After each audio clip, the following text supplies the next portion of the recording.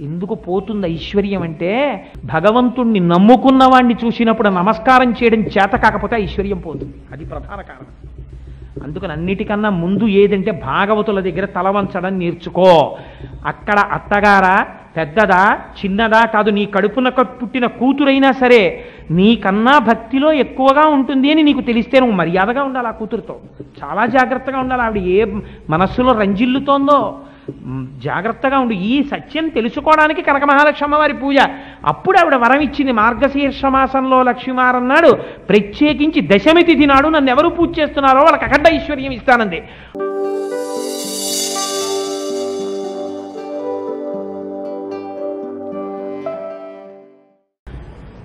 మనకి పూజా విధానాన్ని ఋషులు నిర్ణయం చేసేటప్పుడు రెండు రకాలైనటువంటి నిర్ణయం చేశారు. ఒకటి నిత్యకర్మ అంటారు. రెండవ దాన్ని నైమిత్తిక కర్మ అంటారు. నిత్యకర్మ వేరు నైమిత్తిక కర్మ వేరు. నిత్యకర్మకి నైమిత్తిక కర్మకి తేడా తెలియాలంటే మొట్టమొదట పెద్దలతోడి కొంతకాలము తిరిగినటువంటి వాడై ఉండాలి. రెండు పంచాంగము గురించి కొన్ని విషయాలు తెలిసి ఉండాలి. మూడు భగవంతుని గురించినటువంటి విషయములలో సమగ్రమైన జ్ఞానము ఉన్నా లేకపోయినా గురి కుదిరిన వాడై ఉండాలి. అందుకే మనకి ఆఖరణ ఒక మాట చెప్తారు. భగవద్గీత అంతా చెప్పేసి చిట్ట చివర ఒక మాట అంటారు. నాస్తికుడికి ఈశ్వరుణ్ణి నమ్మని వాడికి పాషండుడికి దీన్ని చెప్పకు అంటారు.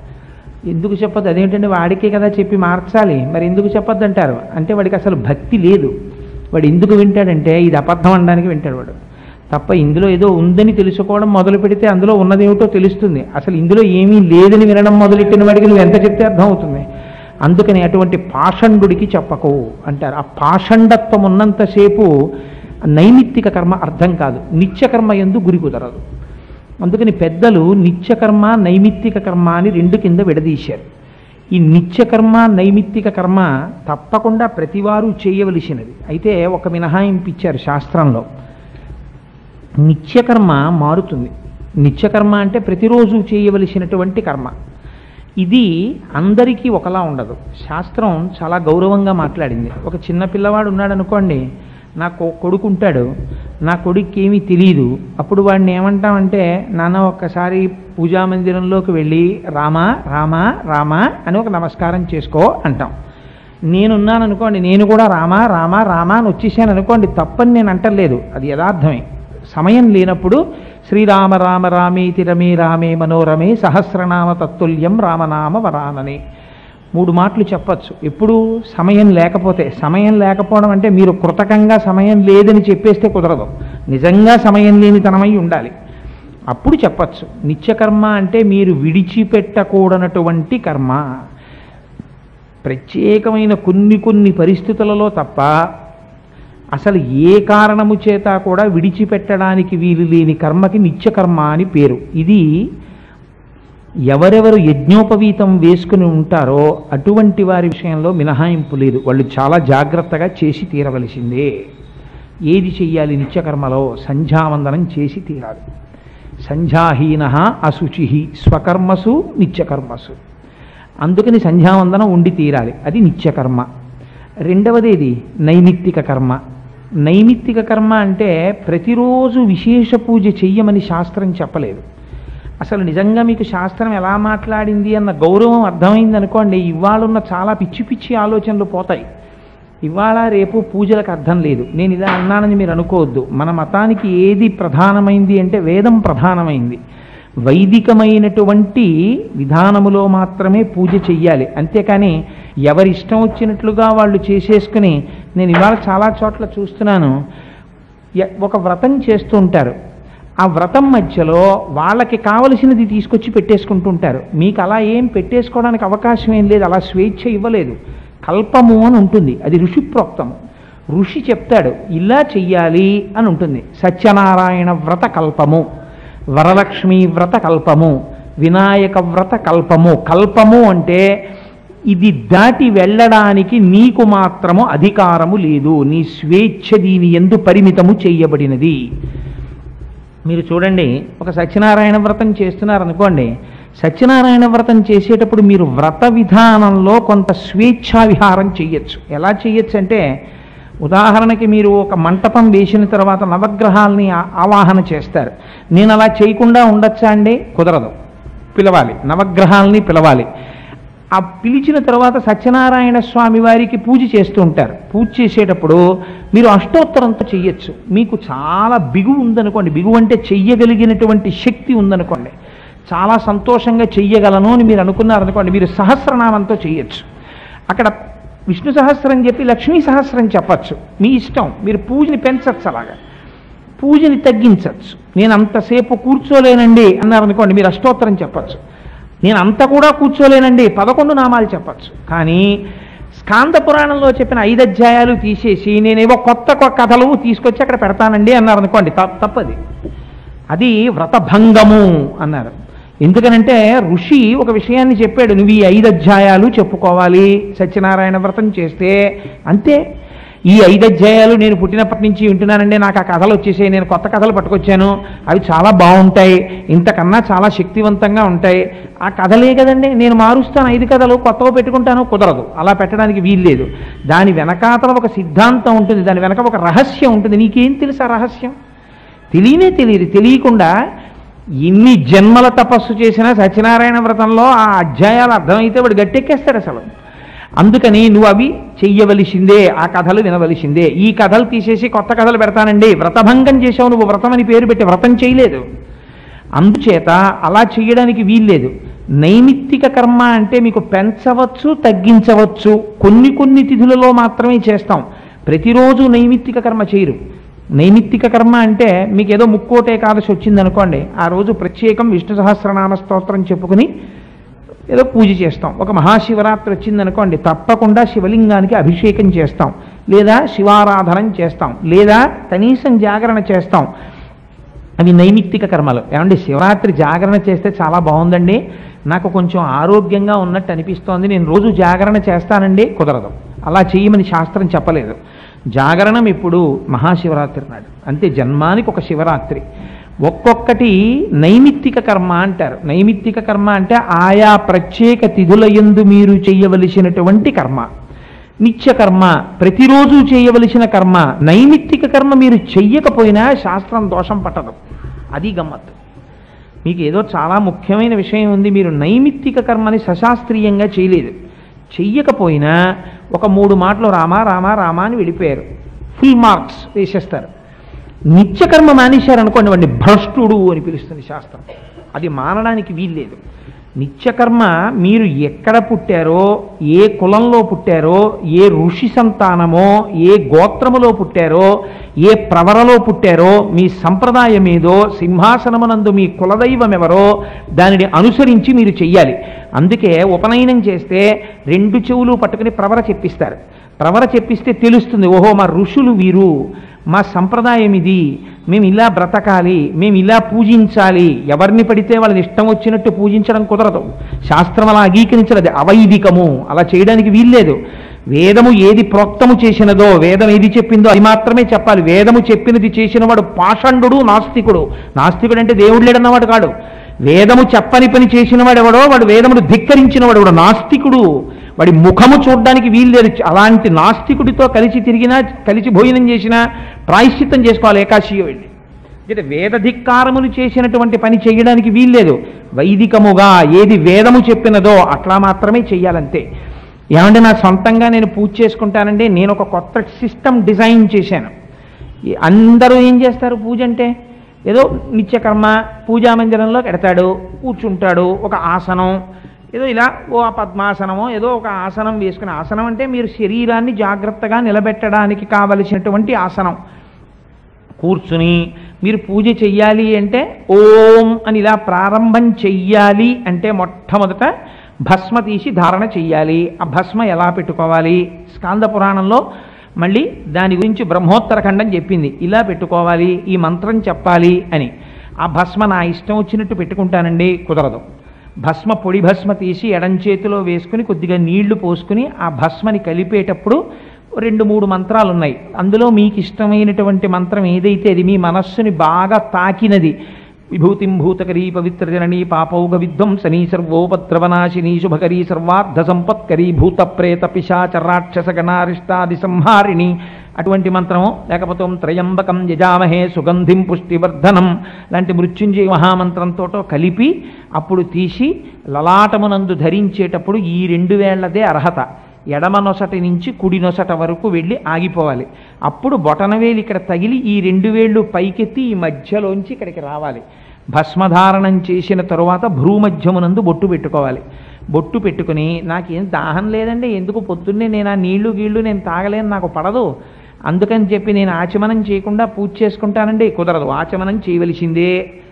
ఆచమనం చేసేటప్పుడు నేను కేశవాయి స్వాహ నారాయణాయి స్వాహ మాధవాయి స్వాహ ఇవి ఎందుకండి అవే చెప్పాలి? ఏ కేశవాయి స్వాహ నారాయణాయి స్వాహ మాధవాయి స్వాహ లేకపోతే విష్ణు సహస్రనామ స్తోత్రంలో లేవా? నేను వనమాలి గదీశాం శంఖీ చక్రీ క్రీచనందకి అందులోంచి ఏవో తీసుకుంటాను. ఓం వనమాల్యే నమ అని పుచ్చుకుంటాను. నేను తప్పేమిటి? ఓం కేశవాయి స్వాహ అని ఎందుకు అనాలి అదే అనాలా? ఇంకో నామం చెప్పకూడదా? విష్ణు సహస్రంలో అన్ని విష్ణువు పేర్లే కదా. నేను ఇంకో పేరు చెప్తాను. చెప్పడానికి వీలు లేదు. అవే చెప్పాలి. ఎందుకంటే అలా మీరు చెప్పకూడదు చెప్పకూడదు అంటే సరిపోతుందా? అలా చెప్పకుండా ఉండడానికి ఏదైనా మార్గం ఉందా? ఆచమనం చేసేటప్పుడు ఎడం చేత్తో నీళ్ళు తీసి కుడి చేతిలో వేసుకోవాలి. వేసుకునే ముందు మీ బొటనవేలు తీసుకెళ్ళి మధ్యవేలు యొక్క ప్రారంభ భాగమునందు గట్టిగా చేర్చి పైన చూపుడు వేలతో నొక్కి పట్టాలి. అప్పుడు గోవు చెవులో అవుతుంది చెయ్యి. అందులోకి ఒక మినపగింజ మునిగినంత నీటిని మాత్రమే వెయ్యాలి. అంతకన్నా ఎక్కువ నీరు వేసి కిందకి కారి మీద పడకూడదు. అంత నీరు వేసుకుని చప్పుడు అవ్వకూడదు. ఎడమ పెరివి మాత్రమే తాకించాలి. ఓం కేశవాయ స్వాహ అని ఆ నీరు పుచ్చుకోవాలి. ఎందుకంటే అంత నిబద్ధత? ఎందుకు ఈ అల్లరంతా? ఏం నేను ఇలా పుచ్చుకోను? ఉద్ధరణితో నోట్లో పోసుకుంటాను తప్ప నీరు కదా మీరు పుచ్చుకోమన్నారు? చేతిలో పోసుకోనండి. ఉద్ధరణితో పోసుకుంటానని దోషమా? అంటే యథార్థమునకు శాస్త్రం ఎంత గౌరవంగా మాట్లాడిందంటే పూర్వం ఇంట్లో ఒక పెద్ద ఆయన ఒరేయ్ సాయంకాలం అసుర సంధ్య వేళలో పడుకోకూడదులే అంటే గభాలను లేచిపోయేవాళ్ళం అంతే. అంతేకాని అడిగితే తెలిసేదేమో అని అనుకోండి చెప్పేవాళ్ళేమో నేను అడగడం తప్పని నేను అంటలేదు. ఏ ఎందుకు పడుకోకూడదు అసుర సంధ్య వేళలో? నాకు నిద్ర వస్తోంది నేను పడుకుంటాను అని అడిగేవాళ్ళం కాదు. లేచిపోయేవాళ్ళం అంతే. ఒరేయ్ సిగ్గులేదురా సూర్యోదయం అయిపోతుంటే ఇంకా పడుకుంటావు లే అంటే లేచిపోయే వాళ్ళం అంతే. కానీ అలా ఋషులు కూడా అలా చెప్పారు. లే అన్నారు. అంతేకాని ఎందుకు లేవాలి? అని శిష్యులు అడగలేదు. కానీ అడగకపోయినా ఋషులు చెప్పారు. అది వాళ్ళ ఔదార్యం. కొన్ని కొన్ని చెప్పారు కొన్ని కొన్ని అర్థం చేసుకో అనుభవము చేత గ్రహించు అని చెప్పారు. నేను మీకు ఒక్కదాన్ని మాత్రమే ఇవాళ ఉదాహరణ ఇస్తాను. నేను పూజా విధానానికి అంతటికీ కూడా అలానే చెప్పడం ప్రారంభం చేశాను అనుకోండి ఇంకా నేను మీ అపార్ట్మెంట్లో ఒక నలభై రోజులు ప్రసంగాలు చేయాలి రామాయణంలాగా అందుకని ఎడమ చేత్తో మీరు నీరు తీసుకుని ఉదయం వెళ్ళి కూర్చున్నారనుకోండి పూజకి కూర్చోగానే మనకి ఇక్కడ స్వరపేటిక అని ఉంటుంది. స్వరపేటిక అంటే మీ లోపల నుంచి వచ్చేటటువంటి వాయువుని ఇక్కడికి వచ్చేటప్పటికి శబ్దముగా మార్చగలిగినటువంటి ఒక పరికరం. దాన్ని ఈశ్వరుడు ఉదారంగా మనకి కటాక్షించాడు. ఆ స్వరపేటిక ఇక్కడ ఉంటుంది. ఆ స్వరపేటికని శాస్త్రం అంది అది ఒక ముళ్ళపంది తోక ముడుచుకుంటే ఎలా ఉంటుందో అలా ఉంటుంది. దానికి మనం స్కూటర్కి వాటికి గేర్ వైర్లోనూ వాటిల్లోనూ కొంచెం లూబ్రికేషన్ అని ఆయిల్ వేస్తాం. అలాగే దానికి కూడా కొద్దిగా లూబ్రికేషన్ అవసరం అవుతుంది. ఈ మధ్య ఉపన్యాసాలు ఎక్కువైపోయి నా కంఠం దెబ్బతింటే నేను ఒక ఈఎన్టీ స్పెషలిస్ట్ దగ్గరికి వెళ్ళాను. వెళితే వాడు కంప్యూటర్లో నా కంఠం చూపించి చూసారా మీ వోకల్ కార్డ్స్ ఎలా వాచిపోయాయో? రోజుకు మూడు నాలుగు ప్రసంగాలు మీరు చెయ్యకండి. లూబ్రికేషన్ ఉండాలి కోటేశ్వరరావు గారు కొద్దిగా నీళ్ళు తాగాలండి ఉపన్యాసం మధ్యలో అన్నారు. అయ్యా నాకు అది అలవాటు లేదండి అలా నేను తాగితే చెప్పలేనన్నాను. పోనీ వెళ్ళిపోయేటప్పుడైనా కొద్దిగా నీళ్ళు తాగి వెడుతుండండి అన్నారు. మన ఋషులు ఎంత గొప్పగా చెప్పారంటే మీరు రాత్రంతా నిద్రపోయినప్పుడు కంఠం పంచేది స్వరపేటికతో మీరు ఏం మాట్లాడరు. మాట్లాడనప్పుడు ఈ స్వరపేటిక అంతా కూడా కొద్దిగా కుంచుకుంటుంది. మీరు పూజ దగ్గరికి వచ్చి ఒకేసారి మాట్లాడడం మొదలెట్టారనుకోండి. మాట్లాడడం అంటే పూజ చేయడం మొదలుపెట్టేస్తారు. సుప్రభాతం మొదలుపెట్టి కౌసల్య సుప్రజారామ పూర్వ సంధ్యా ప్రవర్తతే అని మొదలెట్టేసిన తర్వాత ఓ గ్లాసులు మంచినీళ్ళు ఎట్లా తాగుతాను అనరు కదా మధ్యలో?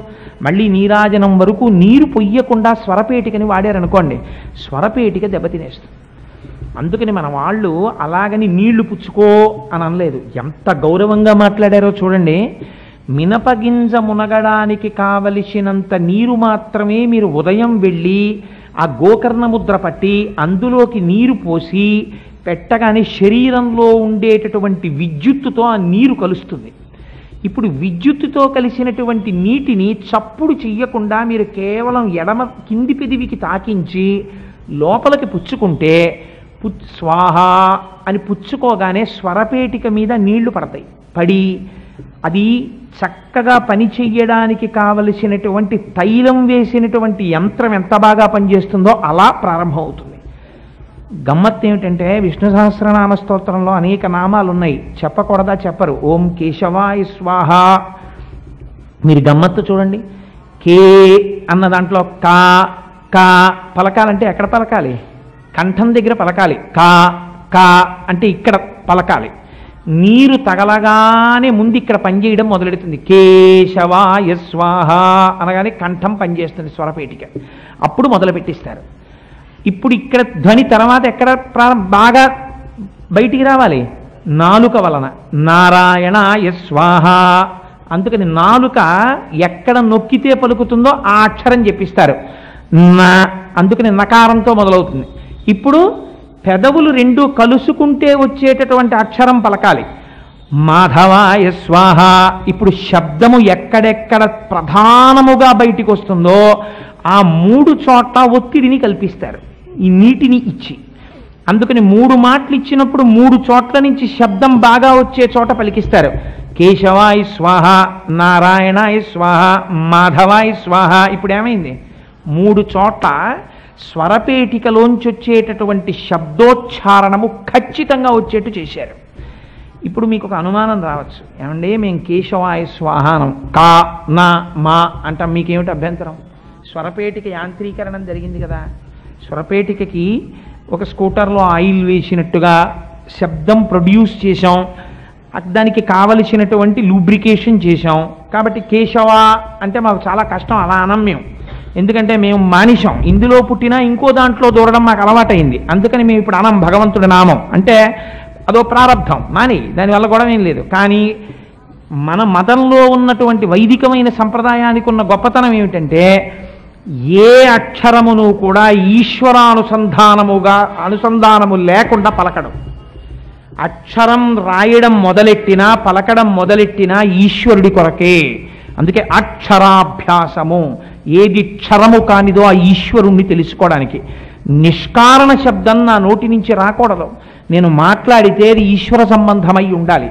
అందుకని ఉట్టిక్క పలకను. కేశవాయ స్వాహ.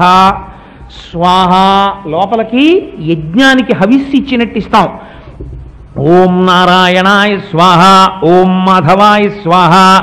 మూడు మాటలు పుచ్చుకుంటాడు. ఇప్పుడు వరుసగా భగవన్ నామాలు చెప్తాడు. ఓం గోవిందాయ నమ. ఓం అని వరుసగా నామాలన్నీ చెప్పి ఈ నామాలు చెప్పాడు ఇప్పుడంటే పోయిందనుకోండి అలవాటు. అసలు ఆచమనం చేయడం ఎలాగా అన్నది నిజంగా ఇవాళ ఎంతమంది చేస్తున్నారు ఆచమనం?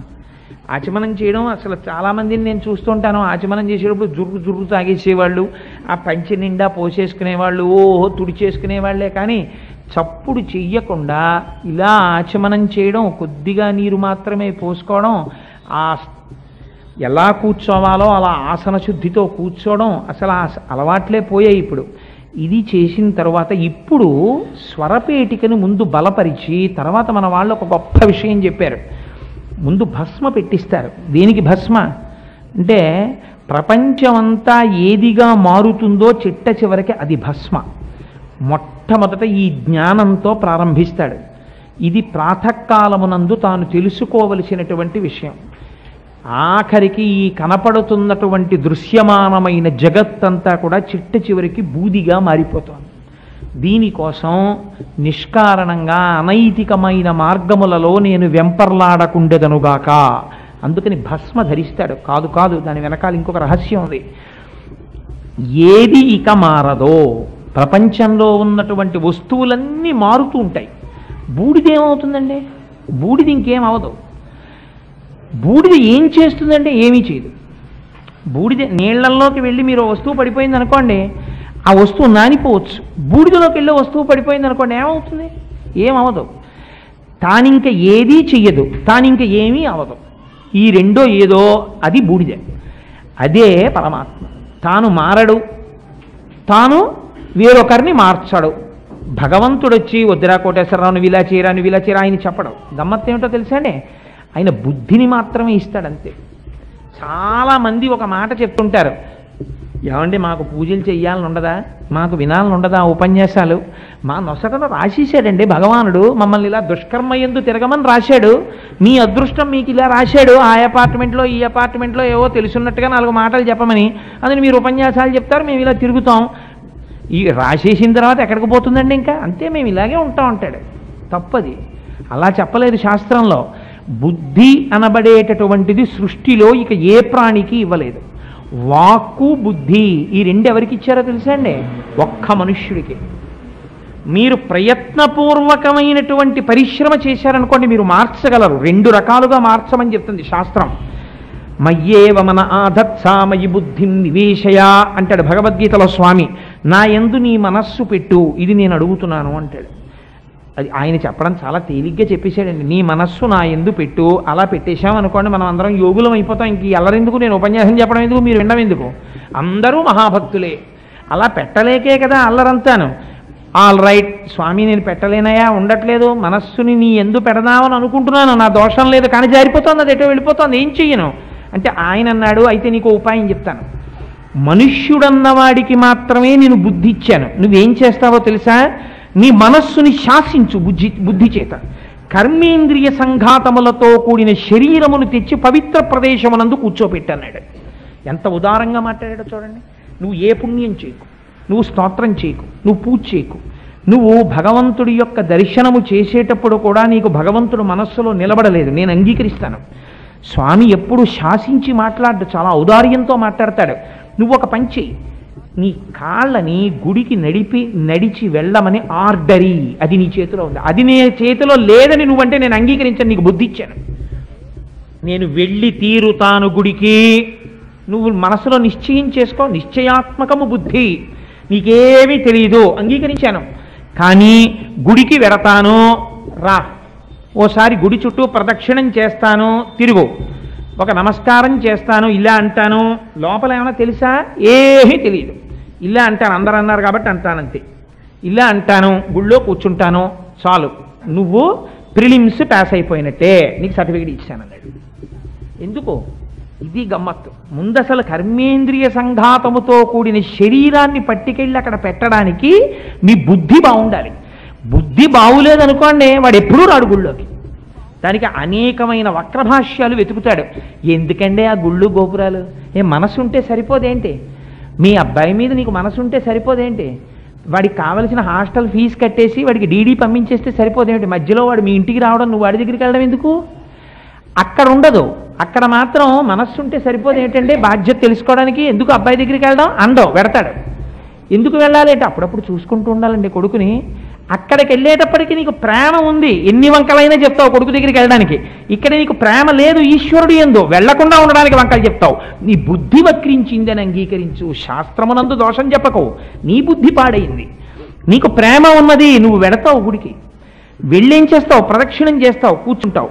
అలా కూర్చో. మిగిలింది ఏం చెయ్యాలో నేను చెప్తానన్నాడు స్వామి. నువ్వు వెళ్ళగా వెళ్ళగా వెళ్ళగా నీ మనస్సుకి ఒక బలహీనత ఉన్నది. ఏది అలవాటు చేశావో దాన్ని పట్టుకుంటుంది.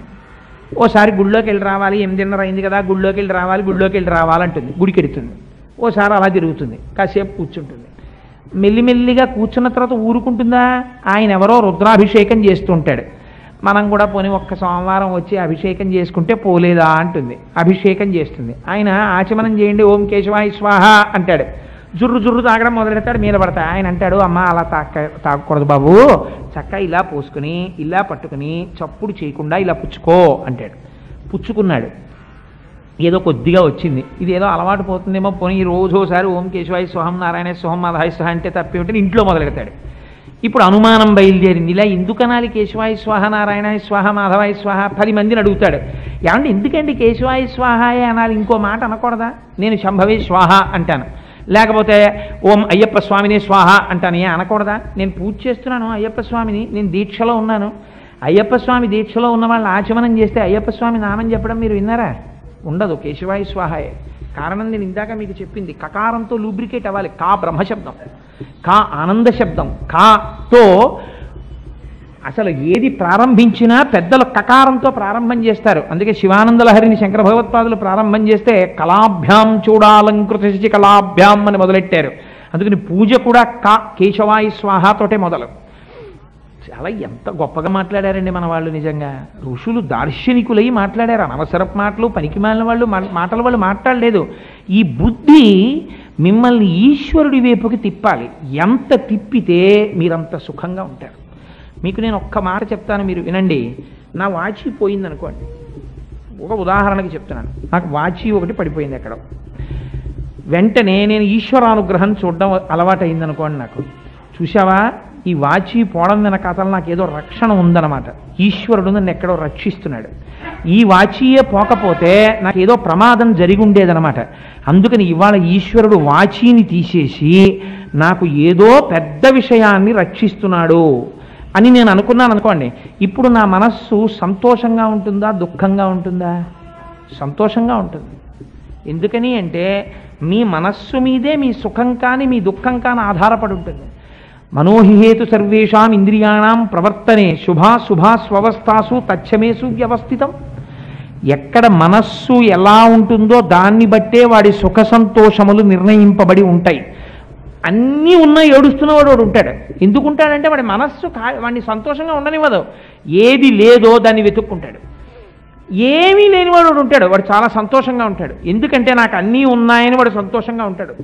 ఏవేవి ఎవరికి లేనివి తనకు ఉన్నాయో గుర్తు తెచ్చుకొని వాడు పరమ సంతోషంగా ఉంటాడు. ఎంత ఆశ్చర్యం అండి. ఇలాగ జీవితాన్ని పండించుకునే వాళ్ళు కొంతమంది ఉంటారు.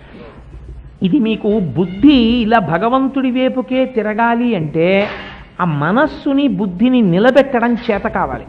ఈ చేత కావాలంటే మనస్సుని నిగ్రహించాలి. నిగ్రహించాలంటే ఆజ్ఞాచక్రము ఎందు మనస్సు ప్రవర్తిస్తుంది. అందుకని ఈ భ్రూమధ్యమునందు ఉండేటటువంటి కేంద్రము ఆజ్ఞా కేంద్రం. అక్కడ మనస్సు నిలబడుతుంది. మనస్సు అక్కడి నుంచే కదులుతుంది. అందుకని పెద్దలు ఏం చెప్తారంటే దాన్ని కుంకుమతో అలంకారం చేయమని చెప్తారు ఆజ్ఞాచక్రాన్ని. అలా అలంకారం చేస్తే దానికి రెండు శక్తులు వస్తాయి. ఒకటి ఎప్పుడు ఏ విషయం మీద తాను మాట్లాడుతున్నాడో ఆ విషయం మీద నిబ్బరంగా నిలబడుతుంది. నేను ఇక్కడికి వచ్చి మీకు ఉపన్యాసం చెప్తాను అని చెప్పి తీరా వచ్చిన తర్వాత నిత్యకర్మ నైమిత్తిక కర్మ అంటే ఈ మధ్య మర్చిపోయానండి చాలా రోజులు అయిపోయింది కానీ ఇప్పుడే నేను టైటాన్ షోరూమ్కి వెళ్ళొచ్చాను. వాచీల గురించి చెప్తాను మీకు అన్నాను అనుకోండి. మీరు ఏమంటారు వీడు బుద్ధిహీనుడు అంటారు మనస్సుని నిలబెట్టాలి అనుకోండి. మీరు మొదలుపెట్టిన విషయమునందే మీ మనస్సు నిలబడాలనుకోండి. ఆ మనస్సును నిగ్రహించగలిగిన శక్తి ఆజ్ఞాచక్రం వల్ల వస్తుంది. ఈ ఆజ్ఞాచక్రం అమ్మవారి అనుగ్రహం చేత పూరకము కావాలంటే దాన్ని కుంకుమ చేత అలంకారం చేయాలి. శాశ్వతమైన జ్ఞానం శివానుగ్రహంగా పొందడానికి విభూతి చేత లలాటము అలంకారం కావాలి. ఇప్పుడు ఏం చేస్తారు పూజలో? దీపం ప్రజ్వాల్య ఒక దీపం వెలిగిస్తారు. దీపం ఎందుకండి పదకొండింటికి పూజ చేసినా దీపమే పన్నెండింటికి పూజ చేసినా దీపమే ఐదింటికి పూజ చేసినా దీపమే. ఎందుకు ఈ దీపం?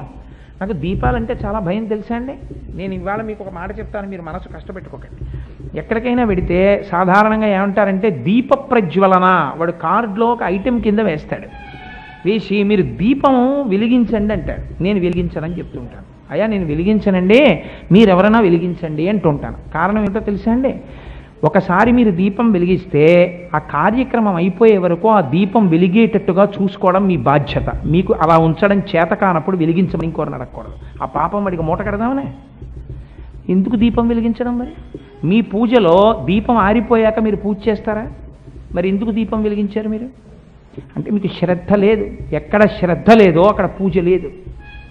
మీకు దాని ఎందు తాదాత్మ్యత లేదు. దాన్ని ఉంచాలని మీకు తెలియదు. దాని ఎందు సమగ్రమైన బుద్ధి లేదు. అంటే ఇవాళ జరిగిన అటువైపు చూడకండి అందరూ. నేను ఒక విషయాన్ని మనవి చేశానంతే నేను అందుకే సాధారణంగా దీపాలు వెలిగించడానికి నేను ఇష్టపడను.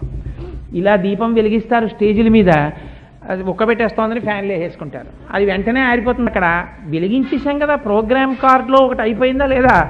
లైటింగ్ ది ల్యాంప్ కొట్టేస్తాడు అధ్యక్షుడు సభకి. అంతే అది ఆరిపోయింది. మాకేం సంబంధం? ఆయనకేం సంబంధం ఉండదు. అది ఎంత రిచువలిస్టిక్ పెర్ఫార్మెన్స్ సో అలా ఉండకూడదు. చేసేటటువంటి దాని ఎందు శ్రద్ధతో కూడినదై ఉండాలి కర్మాచరణము. జ్ఞానమునందు శ్రద్ధ పూనిక తనంత తాను వస్తాయి కర్మయందు మీ అంతట మీరు నేర్చుకోవాలి శ్రద్ధ. లేకపోతే అది అసహ్యంగా ఉంటుంది పది మంది ముందు. దీపం ప్రజ్వాల్య అంటారు. ఎందుకు దీపం వెలిగించడం? నత్ర సూర్యోభాతి నచంద్ర తారకం నేమా విద్యుతో భాతి కుతోయమగ్ని. త్వమేవ భాంతమనుభాతి సర్వం తస్య భాషా సర్వమిదం విభాతి అని చెప్తున్నారు దీపం వెలిగిస్తే. ఏ భగవానుని ముందు కోటి సూర్యుల యొక్క వెలుగు నిలబడదో అటువంటి ప్రకాశమానమై భా ప్రకాశించడము తప్ప వేరొకటి తెలియనిదైనటువంటి ఈశ్వరుణ్ణి నేను దీపముగా చూచుచున్నాను. అందుకని దీపం పెట్టాను. ఇప్పుడు నేను ఆయన వెలుతురు నా ఎందు పడి వెలుగుతున్న దీపము వెలిగించినట్టు దాని చేత నేను వెలిగింపబడతాను. అని ఒక దీపాన్ని వెలిగించి దాని సమ్మెట మీద ఒక పువ్వో ఒక పసుపో కాస్త కుంకమో రెండు అక్షతలో వేస్తారు. వేసి కూర్చున్న తర్వాత ఏం చేస్తారు? కూర్చుని ప్రాణాయామ్యా అని కాస్త ఆ ఊపిరి తీసుకునేటప్పుడు సరే ఇప్పుడంటే ఓం భౌ ఓం భవ ఓం శుభ ఓం మహ ఓం జన అని చెప్పేస్తారు. ముక్కు పట్టుకోండి అంటారు. ఇది ముక్కట్టుకోవడం నోరట్టుకోవడం. ముక్కట్టుకోమంటే ఎదుటివాడి ముక్కట్టుకుంటారు. ఆ ముక్కు పట్టుకోవడం అంటే ఇలా ముక్కట్టుకోమని కాదు. పూజ మీరు తెల్లవారుజామున చెయ్యమని శాస్త్రం బ్రాహ్మీ ముహూర్తంలో. మీరు చేసేటప్పుడు ప్రాణము మీద ఆధారపడి ఉంటుంది. శాస్త్రం ఎంత గంభీరంగా మాట్లాడిందో తెలుసా అండి? ఈశ్వరుడు నీకు అత్యంత దయతో కటాక్షించినదేది ప్రాణము. మిగిలిన సన్మానాలు సత్కారాలు పక్కన పెట్టేసేయండి. అవన్నీ ఎంతసేపు ఉంటాయి? లోపల ప్రాణం ఉన్నంతసేపే. ఈ ప్రాణం ఎవరు నిలబెడతారు? ఒక్క ఈశ్వరుడే నిలబెడతాడు. ఆ నిలబడుతున్న జ్యోతి మీకు బయట వెలుగుతున్న జ్యోతి. అందుకని ఇక్కడ జ్యోతి ఏది వెలుగు అందుకే ఇంట్లో దీపం ఉండగా ఇల్లు చక్కబెట్టుకో ఇక్కడ దీపం ఉండగా పుణ్యకర్మలు చేయడం నేర్చుకో. కాబట్టి ఈ ప్రాణశక్తిని నువ్వు గౌరవించాలి. ఈ ప్రాణశక్తిని నిలబెట్టాలి. ఈ ప్రాణశక్తి ఎక్కడ బాగా పొటమరిస్తుంది? గుండెకాయ మీద ఊపిరితిత్తుల మీద. ఈ రెండు శ్వాస మీద ఆధారపడతాయి. ఇప్పుడు ఈ శ్వాసని క్రమబద్ధం చేసి ఈ ఊపిరితిత్తులతో గుండెకాయతో నీ శరీరంలో ఉన్న నాడీ మండలాల్ని ప్రేరణ చేసి నువ్వు మంచి బుద్ధితో నిలబడగలగాలి అక్కడ. అందుకని ఏం చేస్తావు? ముక్కు పట్టుకోవడం కాదు. కుడి బొటన వేలుతోటి ఈ ముక్కు ముయ్యాలి. కుడి బొ కుడి ముక్కు యొక్క రంధ్రాన్ని మూస్తారు. మూసి ఎడమ ముక్కులోంచి చాలా మెల్లగా ఊపిరిని తీస్తారు. దాన్ని రేచకము అంటారు. బాగా పీల్చి అప్పుడు ఒక్క నిమిషం అలా అంటే అది తెలిసి తెలియకుండా గురువుల దగ్గర నేర్చుకోకుండా చేయకూడదు. ఇబ్బందులు వస్తాయి. ఇవాళ కోటేశ్వరరావు చెప్పాడు కదా అని రేపు ఎవరైనా చేశారు అలా చేయకూడదు. గురువుల దగ్గర దాన్ని ముందు తెలుసుకోవాలి ఎలా చేయాలో. కుంభకం అంటారు. అందుకే తెలిసి తెలియకుండా ఉన్న వాళ్ళు మిక్స్డ్ గ్యాదరింగ్ అంటారు. ఉంటే ధ్యానంలో కుంభకం చెయ్యొద్దని చెప్తారు ముందు. ఇప్పుడు కుంభకం చేస్తారు. కుంభకం చేయగానే ఏమవుతుందో తెలుసా అండి? ఊపిరి ప్రాణవాయువు లోపల తిరుగుతుంటే మనస్సు తిరుగుతుంది. మనస్సు దేని మీద ఆధారపడుతుందంటే ప్రాణవాయువు మీద ఆధారపడుతుంది. అది వ్యగ్రతతో తీస్తున్నారు అనుకోండి అని అది కూడా తీవ్రంగా కదులుతుంది. అందుకే కోపం బాగా వస్తే ఊపిరి బాగా తీసేస్తుంటాడు క్రోధ క్రోధ కృత్కర్త తన కోపమే తన శత్రువు తన శాంతమే తనకు రక్ష. చంద్రశేఖర పరమాచార్య స్వామి దీని గురించి అద్భుతంగా మాట్లాడారు. తను మెల్లగా ప్రశాంతతలోకి వెళ్ళిపోతుంటే ముక్కు లోపలికి వెళ్ళేటటువంటి వాయువులు తారుమారైపోతాయి. ఒక వేపు నుంచి వెళ్ళేది ఇంకో వేపు నుంచి వెళ్ళి ఇంకొక వేపు నుంచి వచ్చేది ఇంకో వేపు నుంచి రావడం మొదలవుతుంది. అది తాను గ్రహించడం. అప్పుడు అపారమైన ఆనందాన్ని పొందేస్తాడు. ఆ ఆనందంలో శరీరంలో ఉన్న నాడీ మండలం గుండె ఊపిరితిత్తులు బలపడతాయి. అందుకని ఈ బొటన వేలుతో మూస్తారు. మూసి మెల్లగా పీలుస్తారు. కుంభకమని నిలబెడతారు కాసేపు. ఆ తర్వాత మళ్ళీ ఈ రెండు వేళ్ళతో దీన్ని మూస్తారు. ఎడం ముక్కుని. మెల్లగా కుడిముక్కులోంచి కిందకి విడిచిపెడతారు. అలా విడిచిపెడితే ఏమవుతుందంటే ఈ ప్రాణాయామం చెయ్యడం చేత గుండె ఊపిరితిత్తులు బలాన్ని పుంజుకుంటాయి. నాడీ మండలం అంతా ఉత్సాహాన్ని పొందుతుంది. ఇప్పుడు తను చేస్తున్నటువంటి పని ఎందు బుద్ధి నిలబడుతుంది. తను ఆనందించగలుగుతాడు. తను ఒక పని చేస్తూ యాంత్రికంగా చేయడం కాదు. ఒక పూజ చేసేటప్పుడు ఒక పువ్వు తీసి ఇలా వేశాడు అనుకోండి నేను మీకు ఒక ఉదాహరణ చెప్తాను. నేను ఇటువంటి ఉదాహరణ మీకు చెప్పాను అని మీరు నా మీద కోప్పడకండి. ఆ కోటేశ్వరరావు గారు ఏంటి ఉపన్యాసాల్లో ఇలాంటివి చెప్పాడు అని. అంటే ఒక్కొక్క మహానుభావుడి జీవితం ఎలా ఉంటుందో చెప్పడానికి మీకు నేను ఒక ఉదాహరణ చెప్తాను. మనకి కాశీనాథుని విశ్వనాథ్ గారని ఒక సినిమా డైరెక్టర్ గారు. ఆయన బయట ప్రపంచానికి సినిమా డైరెక్టర్ ఏమో. నాకైతే విశ్వనాథ్ గారు ఎక్కడైనా కనపడితే అక్కడ ఎదురుగుండా బురదగుంటుండి నేను తెల్లబట్టలతో ఉంటే నేను ఒక్క క్షణం ఆలోచించకుండా బురదగుంటలో కింద పడిపోయిన పాదాలకి ప్రణిపాతం చేసేస్తాను. ఆయన అంతటి మహానుభావుడు నా దృష్టిలో. నాకు అంత ఇష్టం ఆయన అంటే ఆయన ఒక ఋషి. అందుకే ఆయన ఆలోచనలు అలా ఉంటాయి. వారు ఒక సినిమా తీశారు సప్తపది అని. ఆ సప్తపదిలో భార్య దగ్గరికి మొట్టమొదటి రోజు వెళ్ళినప్పుడు ఆయనకి భార్య ఎందు అమ్మవారు కనపడుతుంది. అప్పుడు అయ్యగిరి నందిని నందితమోదిని విశ్వ వినోదిని నందినుతే అని ఒక పాట మహిషాసురమర్దని స్తోత్రం. అక్కడ మీరు గమనించారో లేదో అమ్మవారికి నిర్మాల్యం తీస్తుంటాడు ఆయన. అది ఆయనకి కనపడుతుంటుంది. ఆ ఆవిడ దగ్గరికి వెడితే నిర్మాల్యం తీస్తున్న సందర్భం. మీరు ఏ గుళ్ళోనైనా అలా చూశారా? నాకు చూపించండి. అమ్మవారు ఇలా పద్మాసనం వేసుకుని పట్టుబట్టతో ఉంటే ఆయన నిర్మాల్యం తీస్తాడు ఆ పిల్లాడు? చాలా మెల్లగా జాగ్రత్తగా పువ్వులన్నీ ఇలా తీస్తాడు ఒక పాత్రలోకి. అమ్మవారి బట్ట మీద ఉన్న కుంకం బహుజాగ్రత్తగా ఇలా తీస్తాడు. ఎందుచేత? అది విగ్రహం అన్న భావన మీకు ఉందనుకోండి టకటక లాగేస్తారు.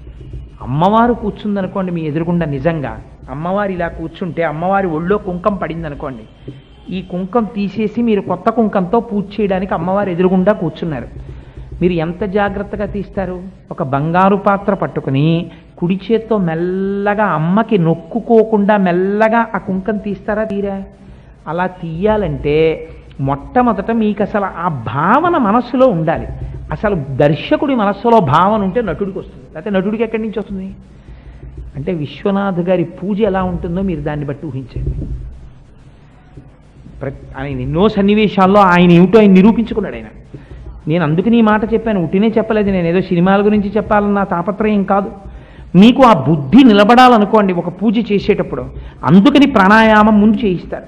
ప్రాణాయామం చేసి మనస్సుని నిలబెట్టి బుద్ధిని కేంద్రీకరించి ఇప్పుడు పూజ చేయడం ప్రారంభిస్తారు.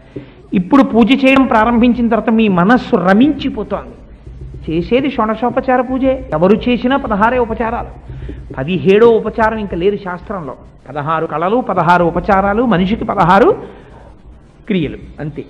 అందుచేత ఆ పదహారు ఉపచారాల్ని మనస్సు ఎందు పరమభక్తితో చేస్తాడు.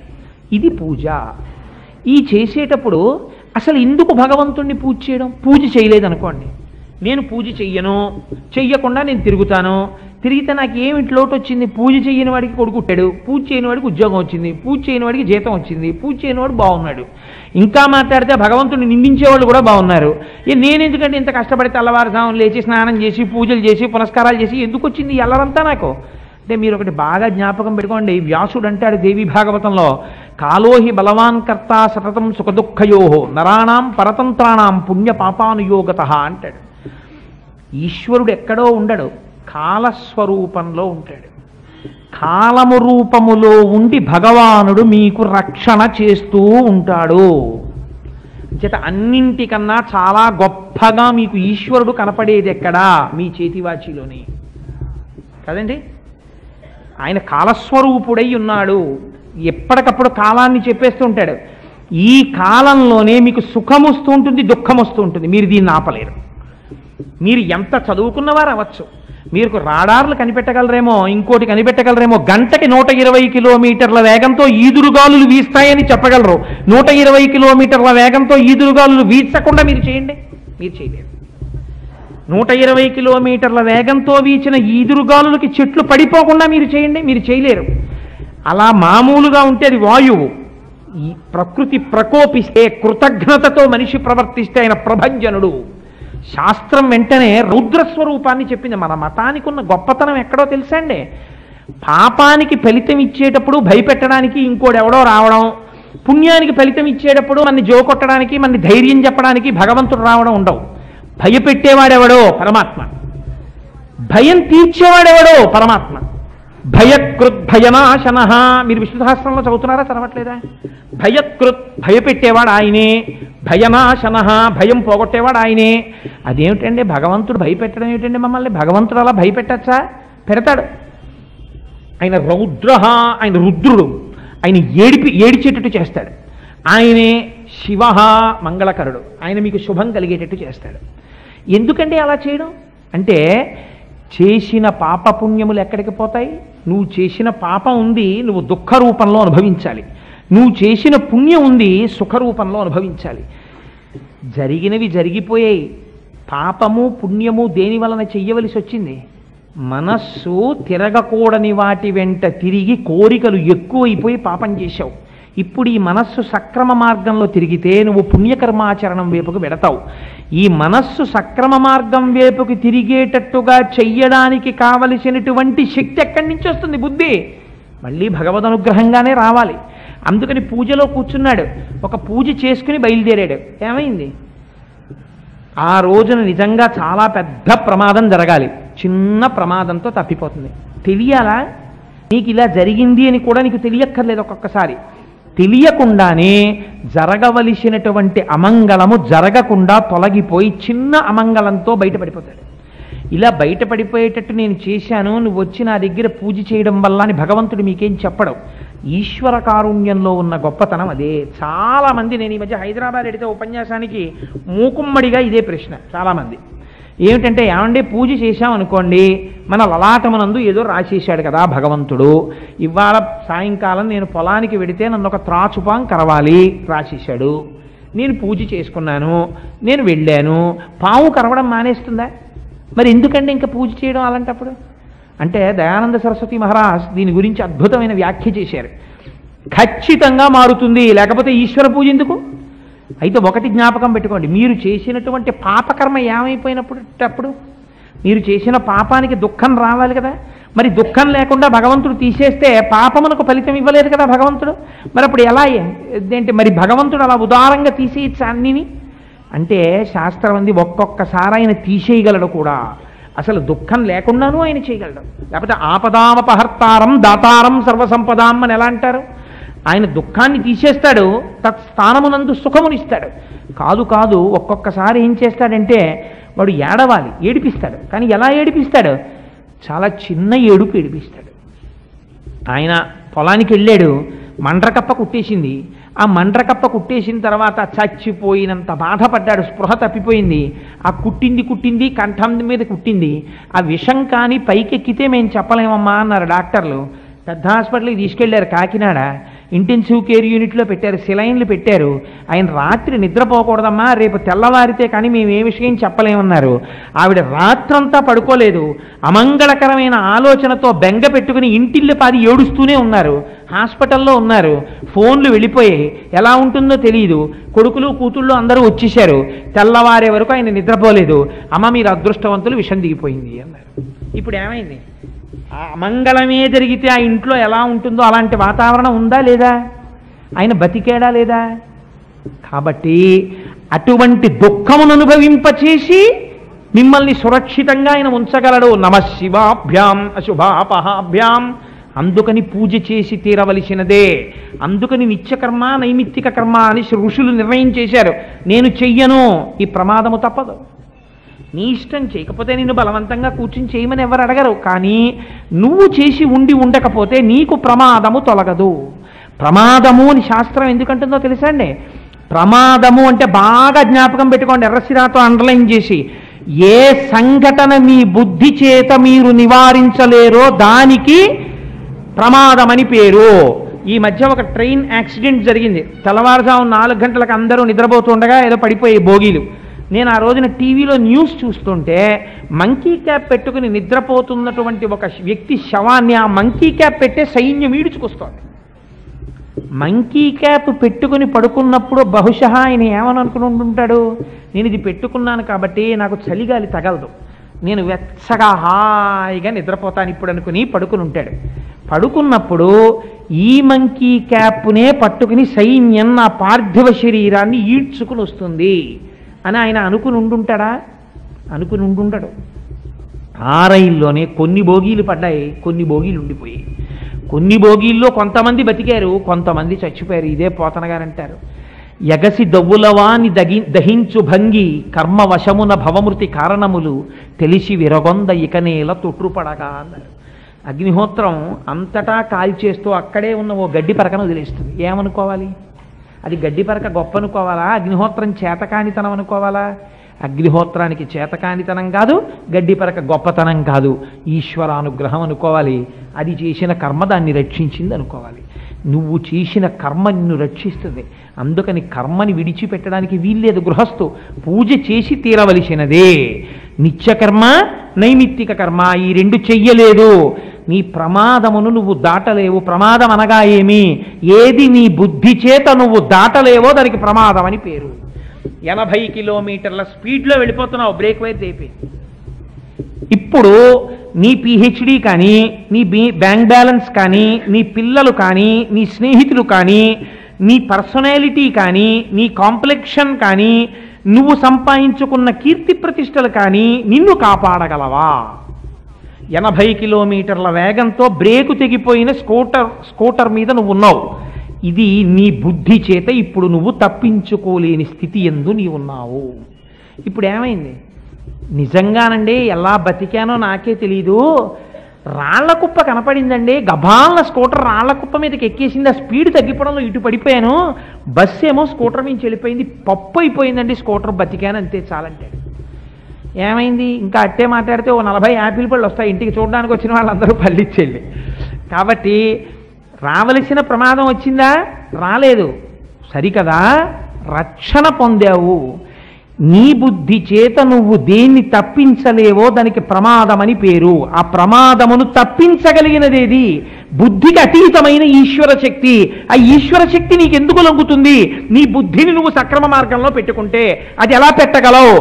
ప్రాణాయామము చేత. ప్రాణాయామం ఎందుకు? ఈశ్వరానుగ్రహము కొరకే. వేరొక దానికి కాదు మన దాంట్లో ఏది చేసినా ఈశ్వరుడి కొరకే. ఇంకొక దానికి లేదు. అందుకే అంటారు అచ్చపు చీకటింబడి గృహవ్రతులై విషయ ప్రవృష్టులై చచ్చుచు పుట్టుచున్మరల చెర్విత చెర్విణులైన వారికి జెచ్చర పుట్టునే పరులు చెప్పిననైన నిజెచ్చనైన ఏమిచ్చిననైన కానలకు ఎగిననైన హరిప్రబోధముల్లన్నాడు ప్రహ్లాదుడు. ఎంత కడుపు మండిపోతే ఆ మాట అన్నాడో చూడండి. ఎటువంటి బ్రతుకులురా బతుకులు? వాడు అందుకే పుడతాడంతే. వాడు ఎప్పుడూ ఈశ్వర కర్మ చెయ్యడు. వాడి బుద్ధి వాడు మార్చుకోడు. చచ్చుచు పుట్టుచున్మరల చెర్విల చెర్- చెర్విత చెర్విణులైన వారికి జిచ్చర పుట్టునే పరులు చెప్పిననైన నిజేచ్ఛనైన కానలకు ఏగిననైన వాడు అరణ్యాలకి తీసుకెళ్ళిపోయిన ఒకడొచ్చి చెప్పిన తనంత తాను తన బుద్ధికి మాత్రము తోచదో. మీకు ఆకలేసింది అనుకోండి ఇంట్లో అన్నం లేదు ఏం చేస్తారు? ఫ్రిడ్జ్ వెతుకునో యాపిల్ పండు తింటారు. యాపిల్ పండు కూడా కనపడలేదు అనుకోండి స్టవ్ దగ్గరికి వెళ్ళి పాలు ఉంటే కాచుకుని ఒక గ్లాసుడు తాగుతారు. అంతేకాని ఆకలి వేస్తే భార్యని పట్టుకుని దూషణ చేస్తూ కూర్చున్నారనుకోండి ఒక గంట ఇంట్లో అనారోగ్యం వస్తుందేమో కానీ ఆకలి తీరదు కదా. మీరు ఏమైనా తింటే ఆకలి తీరుతుంది అంతే మీ ఆకలి తీరడానికి మీరు అన్నం తినాలి మీ దాహం తీరడానికి మీ నీళ్ళు మీరు నీళ్ళు తాగాలి మీరు ప్రమాదం తప్పించుకోవడానికి మీరు కర్మ చెయ్యాలి. తప్పించి వాడెవడో కర్మ చేస్తాడు వాడెవడో పూజ చేస్తాడు వాడెవడో ప్రార్థన చేస్తాడు నాకు ప్రయోజనాలు వస్తాయంటే అలా కుదరదు. వైదిక సంప్రదాయంలో ఎప్పుడో అరుదుగా అట్లాంటి వాటిని శాస్త్రం అంగీకరించింది. తండ్రికి కొడుకు మీద ప్రేమ ఉంటుంది కాబట్టి సహజంగా తండ్రికి దుఃఖం ఎందుకు వస్తుందండి? కొడుక్కి ప్రమాదం వచ్చిందని నువ్వు చాలా పూజలు చేసావరా నువ్వు మంచిడివి పాప నీ జోలికి ఎందుకు వస్తాను? నీకేమీ అవదో. కానీ మీ అబ్బాయి కాలు విరిచేస్తానన్నాడు అనుకోండి పరమాత్మ. ఏడుస్తాడా ఏడవడా తండ్రి? ఇది మన మతంలో ఉన్న గొప్పతనం. అందుకే వాడు ఏమంటాడంటే పూజ చేసేటప్పుడు ధర్మపత్ని సమేతస్య సకుటుంబస్య సబాంధవస్య పుత్ర పౌత్ర సమేతస్య అందరితో కూర్చుని సకుటుంబంతో నేను పూజ చేసినట్టే. ఇంటి యజమాని పూజ చేశాడు అనుకోండి ఇంట్లో వాళ్ళందరూ పూజ చేసినట్టే లెక్క. అంటే మానేయమని కాదు నా ఉద్దేశం ఆయన చేసినప్పుడు వీళ్ళు చేయకుండా ఉంటే ఆయన ఊరుకుంటాడంటే నువ్వు వీళ్ళు కూర్చుని చేయి సంధ్యావందనం అంటాడు. అందుకని మన వాళ్ళు ఏదైనా చెప్తే ఇంటికి యజమాని పేరు చెప్తారు. తప్పించి కింద వాళ్ళ పేర్లు చెప్పక్కర్లేదు. ఇప్పుడు నేను ఈ మధ్య ఎందుకో ఒక రోజున ద్రాక్షారామ వెళ్ళాను. ఏదో హనుమ రథం ప్రారంభోత్సవం చేయడానికి. వెళితే అక్కడ మాణిక్యాంబా దేవాలయంలోకి వెళ్ళినప్పుడు ఒక సంఘటన చూశాను. ఒక ఆయన ఎక్కడి నుంచో వచ్చాడు. ఆయన ఇంకా వెనకాతల ఒక అరవై మందో డెబ్భై మందో క్యూలో నిలబడి ఉన్నారు. ఆయన ఒక ఎనభై పేర్లు చెప్పాడు అప్పటికి. చెప్పి తర్వాత ఆయన చెప్పి విసిగిపోయాడు నిజంగా అర్చకుడు. విసిగిపోయి ఇదేంటి వెనక వాళ్ళందరూ విసిగిపోతున్నారు కదలడం. ఉండండి అంటాడు భార్యని ఇంకెవరు? ఇంకెవరు? అంటున్నాడు. షాపుల పేర్లు చెప్పాడు ఇంట్లో పెరుగుతున్న కుక్క పిల్లల పేర్లు చెప్పాడు బంధువుల పేర్లు చెప్పాడు స్నేహితుల పేర్లు చెప్పాడు. అవదు. ఎందుకంటే అది వైదిక మర్యాద కాదు. అలా చెయ్యక్కర్లేదు. మీరు ఎక్కడికైనా పూజకి వెళ్ళినప్పుడు ఇంటి యజమాని పేరు చెప్పుకుంటే చాలు. ఇంటి యజమాని పేరు చెప్తే నేను పూజ చేశాను అనుకోండి ఆత్రేశ గోత్రోద్భవస్య కోటేశ్వర శర్మనామధేయస్య ధర్మపత్ని సమేతస్య సకుటుంబస్య సబాంధవస్య క్షేమస్థైర్య విజయ అభయ ఆయురారోగ్య ఐశ్వర్యాభివృద్ధ్యర్థం ధర్మార్థకామ మోక్ష చతుర్విధ ఫలపురుషార్థ సిద్ధ్యర్థం మనోవాంఛాపల సిద్ధ్యర్థం అన్నింటినీ మించి ఈశ్వర పాదారవింద భక్తి సిద్ధ్యర్థం ఏదో నిత్యకర్మానుష్ఠానం కరిష్యే అని నీళ్ళు ముట్టుకుని అది కూడా ఎంత మర్యాదగా మాట్లాడారండి. పక్కింట్లో వాళ్ళకేమో వెండి సామాను ఉంది మాకేమో ఇతర సామాను రాగి సామాను ఉందని నువ్వు ఏడవక్కర్లేదు. నీకు ఏది సంభావిత ద్రవ్యే ఏది ఆ సమయానికి నీ దగ్గర ఉంటే దానితో నువ్వు పూజ చేయి ఈశ్వరుడు స్వీకరిస్తాడు. ఇది దేని కొరకు? నిన్ను నువ్వు ఉద్ధరించుకోవడానికి పూజ అన్నది. అందుకని పూజ బరువు చేసేసుకున్నారనుకోండి. అయ్య బాబోయ్ పూజ చేయలేకపోతున్నానండి అలవాటు చేసేసుకున్నాను. కొంత కొంతమంది ఏం చేస్తారంటే ముందు ఉత్సాహం వచ్చేస్తుంది. ఏదో వింటాడు ఎక్కడో పాపం పూజ చేసుకోవాలని ఉత్సాహం పుట్టేస్తుంది. వాడు అదృష్టం మర్నాడు ఆదివారం ఉంటుంది. కాబట్టి ఆఫీస్ లేదు కదా ఏ ఐదింటికో లేచి ఆ ఒక్కరోజు మొదలెట్టేస్తాడు. విష్ణు సహస్రనామ స్తోత్రం లక్ష్మీ సహస్రనామ స్తోత్రం అన్నీ చదివేస్తాడు ఆ రోజున ఎనిమిదింటి వరకు. పక్క పోర్షన్ల వాళ్ళు ఆశ్చర్యపోతారు. ఏమిటి ఇంత పూజ మొదలెట్టాడని? అంతా అయిపోతుంది. కొబ్బరికాయ కొడతాడు నైవేద్యం పెడతాడు హారతిస్తాడు అన్నీ చేస్తాడు. ప్రతిరోజు నేను ఇలాగే చేస్తాను ఈశ్వరా అంటాడు గబుక్కుని. రెండు రోజులు లేస్తాడు మూడు రోజులు లేస్తాడు నాలుగో రోజు ఐదింటికి లేవలసి వస్తే ఈశ్వరుడు పెద్ద విలన్లా కనపడతాడు. వీడు నా ప్రారంధానికి ఈశాన్యంలో కూర్చున్నాడు. ఐదు హాయిగా చల్లగా ఉంది. ఎవ్వడూ లేవడు. నేను ఒక్కడనే లేవాలి. ఇది లేవదు కాఫీ ఇవ్వదు. పాలు ఎక్కడున్నాయో తెలియదు. కాఫీ తాగకపోతే ఆ పూజ కూర్చోబుద్ధి ఇది కరెక్ట్గా వీడు పూజ కూర్చుని ఆచమ్య అనేటప్పటికీ సే పాలు మరిగించు అంటుంది ఆవిడ. వీడి చెవులు అవు పడుతుంటాయి. కాఫీ గ్లాసులోంచి గ్లాసులో పోసుకుంటున్నట్టు ఈ దిక్కుమాల పూజ నేనును ఇదేమో ఎనిమిది అయితే తప్పవదు కాఫీ లేదు చచ్చిపోతున్నాను ఎందుకు పెట్టేసుకున్నానో ఇవన్నీ. ఇప్పుడు ఈశ్వరుడు ఎంత బాధగా ఉంటాడు చూడండి వాడి దగ్గర పూజ పుచ్చుకోవడానికి. వీడు పాపం కాఫీ తాగలేదు ఎందుకు ఇలా నన్ను నింద చేస్తూ నేను అడిగానా ఏమన్నానా నిన్ను అడిగానా? వాడు ఎవరి దగ్గర ఏదో విన్నావు వచ్చావు మూడు గంటలు పూజ చేస్తాన్నావు ఓ రోజు చేసావు ఆల్ రైట్ సంతోషించాను. ఎందుకురా రోజు ఇలా తిట్టుకోవడం? వాడి పూజ పేరు చెప్పి వాడు చేసేది ఏమిటంటే మనస్సులో నింద లేకపోతే అనారోగ్యం. ఎందుకో తెలుసండి కొంతమంది పూజ చేస్తారు ఆరింటికి మొదలెడతారు. మొదలెట్టి ఇవాళ రెండు గంటలు పూజ చేయాలి. వాడు ఎనిమిది స్తోత్రాలు చేయాలి. అవవు ఎనిమిది స్తోత్రాలు. అవతల ఏడింటికి ఎక్కడికో వస్తానని చెప్పాడు అర్జెంటుగా వేగలు పెట్టేశాడు ఆఫీస్లో ఫోన్ వచ్చేస్తుంది. వీడికి ఎనిమిది స్తోత్రాలు అవ్వలేదు. అందుకని ఇంకా శ్రీ మాతా శ్రీ మహారాజ్ఞి ఇంతే మీకు వినపడుతుంది. ఆ తర్వాత మీకు మధ్యలో ఎక్కడో వినేటప్పటికీ సర్వానుల్లంఘ్య శాసన అన్నది ఏదో లీలగా వినపడుతుంది. అంటే అంత స్పీడు. చదివేస్తూ ఇలా చూస్తూ చదివేస్తూ ఇలా చూస్తూ ఇలా విసిరేస్తూ ఇంకా హారతోటి ఉండిపోయిందిరా బాబు అని మధ్యలో ఆవిడ మీద పెద్ద కేకేసి ఇప్పుడు ఆ పూజ దేని కొరకు చెప్పండి నాకు? అనవసరం. ఒక యాంత్రికమైన విషయాన్ని మీరు చేసి మిమ్మల్ని మీరు పాడి చేసేసుకున్నారు. భగవంతుడి దగ్గర పాపం మూట కట్టుకుంటున్నారు. ఎందుకంటే ఆయన్ని మీరు నింద చేస్తున్నారు. నువ్వు మమ్మల్ని విడిచిపెట్టట్లేదు. ఇలా పట్టుకుని తినేస్తున్నావు ఈ పూజ పేరు చెప్పాను ఆయన మిమ్మల్ని ఏం అలా అడగలేదు. అందుకే పెద్దలు ఎంత గౌరవంగా మాట్లాడారో తెలుసా అండి? విడగొట్టేశారు. నిత్యకర్మ నైమిత్తిక కర్మ నిన్ను రోజు అంత అల్లరి చేయకు నువ్వు పూజ దగ్గర. నేను నిర్దాక్షిణ్యంగా చెప్తుంటాను ఉపన్యాసాల్లో. అంతంత పూజలు చెయ్యకండి అని చెప్తాను. వారానికి ఒక్క రోజే పెట్టుకోండి. ఒక్క రోజు మీరు ఏదో ఒక రోజు మీకు ఏ రోజు సెలవైతే ఆ రోజు నేను విశేష పూజ చేస్తాను అని నిర్ణయం చేసుకోండి.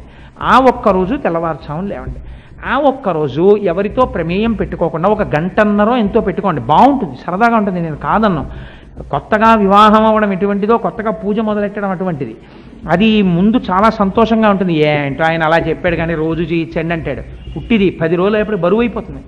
మీరు ఇవాళ ఒక్కరోజే ఈ గంటన్నర సంతోషంగా చేస్తానని కూర్చున్నారనుకోండి మిమ్మల్ని మీరు ఉత్సాహపరచుకోవడానికి ఒక పది రూపాయలు రంగురంగుల పువ్వులు తెచ్చుకుని అన్నీ పెట్టుకున్నారనుకోండి మీకు చెయ్యి బుద్ధిస్తుంది మీరు అలా పూజ చేస్తే క్రమక్రమంగా క్రమక్రమంగా యాక్సెప్టబిలిటీ అంటే ఇంగ్లీష్లో మనస్సు అంగీకరిస్తుంది. ఎస్ బాగుంది ఇది నేను చేస్తాను చేస్తానంటుంది. అది బాగా ఒప్పుకుంది. పర్వాలేదు నువ్వు అన్ని మాటలు అడిగినా నేను ఇవ్వను. రెండు రోజులు ఇస్తున్నాను అవకాశం. అని ఇప్పుడు మీరు ఇంకొక రోజు ఇవ్వండి. ఇప్పుడు మీరు రెండు రోజుల తర్వాత కూడా అబ్బా నేను నువ్వు ఇవ్వట్లేదు నాకు అవకాశం తినేస్తున్నావు చక్క రోజు ఇలా చేస్తే ఎంత బాగుండునో మీ మనస్సుని మీరు వాచ్ చేయండి. వాచ్ చేసి అవకాశం ఇయ్యి అవకాశం ఇయ్యి అని అడిగింది అనుకోండి ఆరు నెలల తర్వాత మూడో రోజు గ్రాంట్ చేయండి. Subject to a condition that it can be withdrawn it any time without assigning any reason whatsoever ఎప్పుడైనా నేను దీన్ని ఉపసంహరిస్తాను. నేను ఈ పూజ మానచ్చు. నువ్వు సరిగా ఉండకపోతే మాత్రం తీసేస్తాను. మూడో రోజు పూజ ఉండదు. నీకు రెండు రోజులే పూజ. అన్నారనుకోండి మీ మనస్సు మీద మీరు అధికారిగా నిలబడ్డారనుకోండి బుద్ధి చేత వాడు తీసేస్తాడు మూడో రోజు పూజ లేకపోతే సరిగ్గా చేయంటుంది అని ప్రాణాయామం జాగ్రత్తగా చేయిస్తుంది నామాలు జాగ్రత్తగా చెప్పిస్తుంది. అలా కూర్చుని చేసినటువంటి పూజ చేత మీరు తన్మయత్వాన్ని పొందుతారు. ఇప్పుడు నేను ఒక్క మాటలోకి మనవి చేసే ప్రయత్నం చేస్తాను. ఇప్పుడు మీరు నైమిత్తికంలోకి వచ్చారనుకోండి ఈ నైమిత్తికమైనటువంటి కర్మలన్నీ దేని కొరకు వస్తాయంటే ఒకటికి పదిసార్లు మీ మనస్సుని బాగు చేయడానికి వస్తాయి. మీకు నేను ఒక్క ఉదాహరణ చెప్తాను. తేలికగా మీ మనస్సుని పట్టుకోవడానికి. ఇప్పుడు పండగ అని ఒకటి లేదనుకోండి మనం ఇల్లు ఎప్పుడూ దులపం. బాహ్య దులుపుదాని లేదురు దులుపుదాని లేదురు అని వదిలేస్తాం. ఇప్పుడు దసరా శరన్నవరాత్రులు వస్తున్నాయి అనుకోండి ఇంట్లో అందరూ బూజులు దులిపించేసుకుంటున్నారు అనుకోండి అందరూ దులిపించుకుంటున్నారు శరన్నవరాత్రులు వస్తున్నాయి బాగుండదని మనం కూడా దులుపుకుంటాం. గ్రహణం వచ్చింది స్వామికి స్నపన చేశారనుకోండి చాలామంది ఇవాళ విగ్రహాలు కడిగేసామని అంటారు. విగ్రహాలు కడిగేట గ్లాసులా చెంబులా? అంటే వాడి భావన అంతే అలాగే ఉందన్నమాట దాని ఎందు. స్నపన అంటే స్వామి స్నానం చేశారు. గ్రహణం పట్టింది కాబట్టి స్వామి స్నానం చేస్తున్నారు ఇవాళ మంత్రపూర్వకంగా. ఆయన అభిషిక్తుడయ్యాడు. అభిషిక్తుడై కూర్చున్నాడు అభిషేకం చేసుకుని. అని మీరు భావన చేశారనుకోండి మాట మారిపోతుంది మీరు అలా అనలేరు. దేవుణ్ణి తోమేశానండి అంటారు కొంతమంది. నేను ఇవాళ ఏం ఏమిటమ్మా చాలా హడావిడిగా ఉన్నారంటే ఇవాళ దేవుళ్ళని తోమేమండి అంటారు. దేవుళ్ళని తోమడం ఏమిటంటే ఆవిడికి గిన్నెకి ఈశ్వరమూర్తికి తేడా కనపడలేదు. ఆవిడ తప్పు కాదు అది. ఎందుకంటే ఒక గిన్నెని చింతపండు పెట్టి తోమింది ఇవాళ ఈ విగ్రహాన్ని కూడా చింతపండు పెట్టి తోమింది. అంతేకాని లేదు నేను స్వామికి స్నపన చేశాను అందనుకోండి. మారిపోయింది ఆవిడ భావన. స్వామి నీకు నేను పూజా మందిరంలో నా పూజా మందిరంలో నీకు ఇంత ధూళి పెట్టడమా పిల్లాడికి ఒంటి మీద కురుపొస్తే అమ్మ ఒప్పుకోకుండా మచ్చపడిపోతుంది. ఒంటి మీద తెల్లటి ఒళ్ళని ఎంత శ్రద్ధగా సున్నిపిండి పెట్టి స్నానం చేస్తుందో అలాగా స్వామి చూడు నీకు ఇవాళ చక్కగా ఎలా అభిషేకం చేసేస్తాను అని చెప్పి సున్నిపిండి పెట్టి చక్కగా అభిషేకం చేసి చేసుకున్నారనుకోండి అంతకన్నా గొప్ప పూజ లేదు ఇంకా మీ భావన బట్టి పూజ అంతే స్నపన చేశాను అన్నాడు అనుకోండి అదొక పూజ. నైమిత్తిక కర్మలు దేని కొరకు వస్తాయంటే బయట ఇంటిని మీరు ఎలా చూస్తున్నారో లోపల కూడా అలా చెయ్యాలి. ఇది పట్టుకుంటుంది. ఎలా పట్టుకుంటు ఎంత గమ్మత్తుగా ఉంటుందో మీకు నేను ఒక ఉదాహరణ చెప్తాను. కార్తీక సోమవారాలని మొన్న మొన్నటి వరకు ఉన్నాయి. అసలు అన్నప్పుడు పిలుద్దాం అనుకున్నట్టు ఉపన్యాసానికి నాకు ఖాళీ లేకపోయింది. కార్తీక సోమవారం శివుణ్ణి ఎందుకు పూజ చేయాలి? మంచి ప్రశ్నే. అసలు శివుణ్ణి ఎందుకు పూజ చేయాలంటే విష్ణుమూర్తిని పూజ చేస్తే తప్పు వచ్చిందా కార్తీక మాసంలో? అసలు అయ్యప్ప స్వామి ఆ దీక్షలు పట్టిన వాళ్ళందరూ కార్తీక మాసం అంతా అయ్యప్ప స్వామికి కదా అభిషేకం చేస్తారు. అయితే వాళ్ళు దోషం చేసినట్టే. లేకపోతే విష్ణుమూర్తికి తులసితో పూజ చేశారనుకోండి అది దోషమా? అంటే ఏకో దేవ సర్వభూతాంతరాత్మ సర్వభూతాదివాస అని కేవలో నిర్గుణశ్చ సాక్షి చేత అంటుంది వేదం. ఆయనకి అసలు ఏ గుణము లేదు ఆయనకి ఏ రూపము లేదు. ఆయన నిర్వికారుడు నిరంజనుడు. అటువంటి వాడు మీరు చేస్తున్న పనులకు సాక్షిగా ఉంటాడు ఆత్మరూపుడై.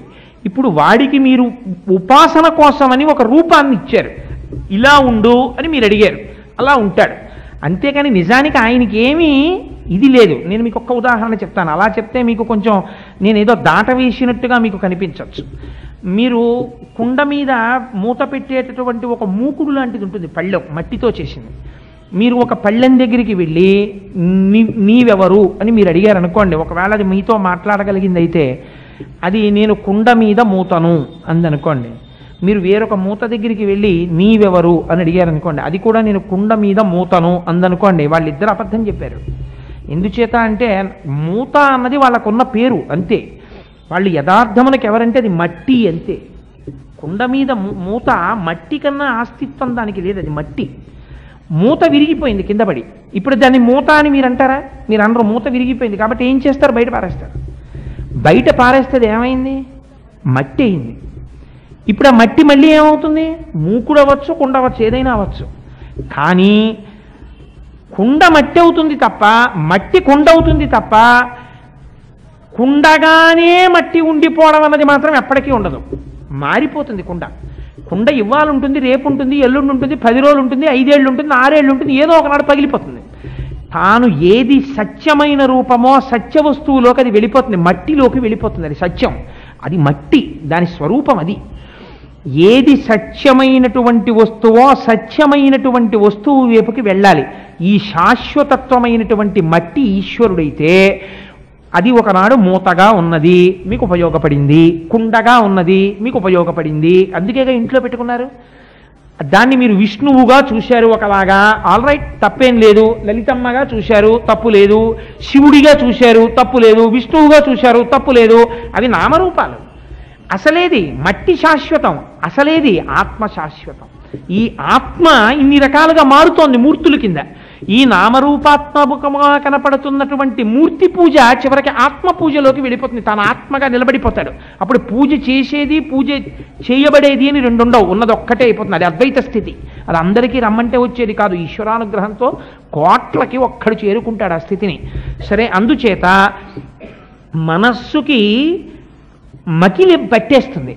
నిత్య పూజ చేసినట్టే ఉంటాడు. బట్ చేయలేదని మీరు చెప్పలేరు. ఎందుకంటే దొరకడు. స్నానం చేస్తాడు తెల్లవారుజామున లేచి మంచి పట్టుపంచి కట్టుకుంటాడు ఎంత బాగా పెట్టుకుంటాడో కుర్చీళ్ళు చక్కగా ఉత్తరీయం వేసుకుంటాడు విభూతి పెట్టుకుంటాడు బొట్టు పెట్టుకుంటాడు పూజా మందిరంలో కూర్చుంటాడు పెద్ద గంట వాయిస్తాడు. అదో గమ్మత్తు మనకు శాస్త్రంలో. ఘంటానాదం. గంట కింద పెట్టకూడదు. ఆ ఘంటానాదం. ఎందుకంటే శ్రావ్యమైన ఘంటానాదం వింటే దాని తరంగముల చేత మనస్సు ఉద్దీపమవుతుంది. అందుకని ఘంటానాదం వింటారు.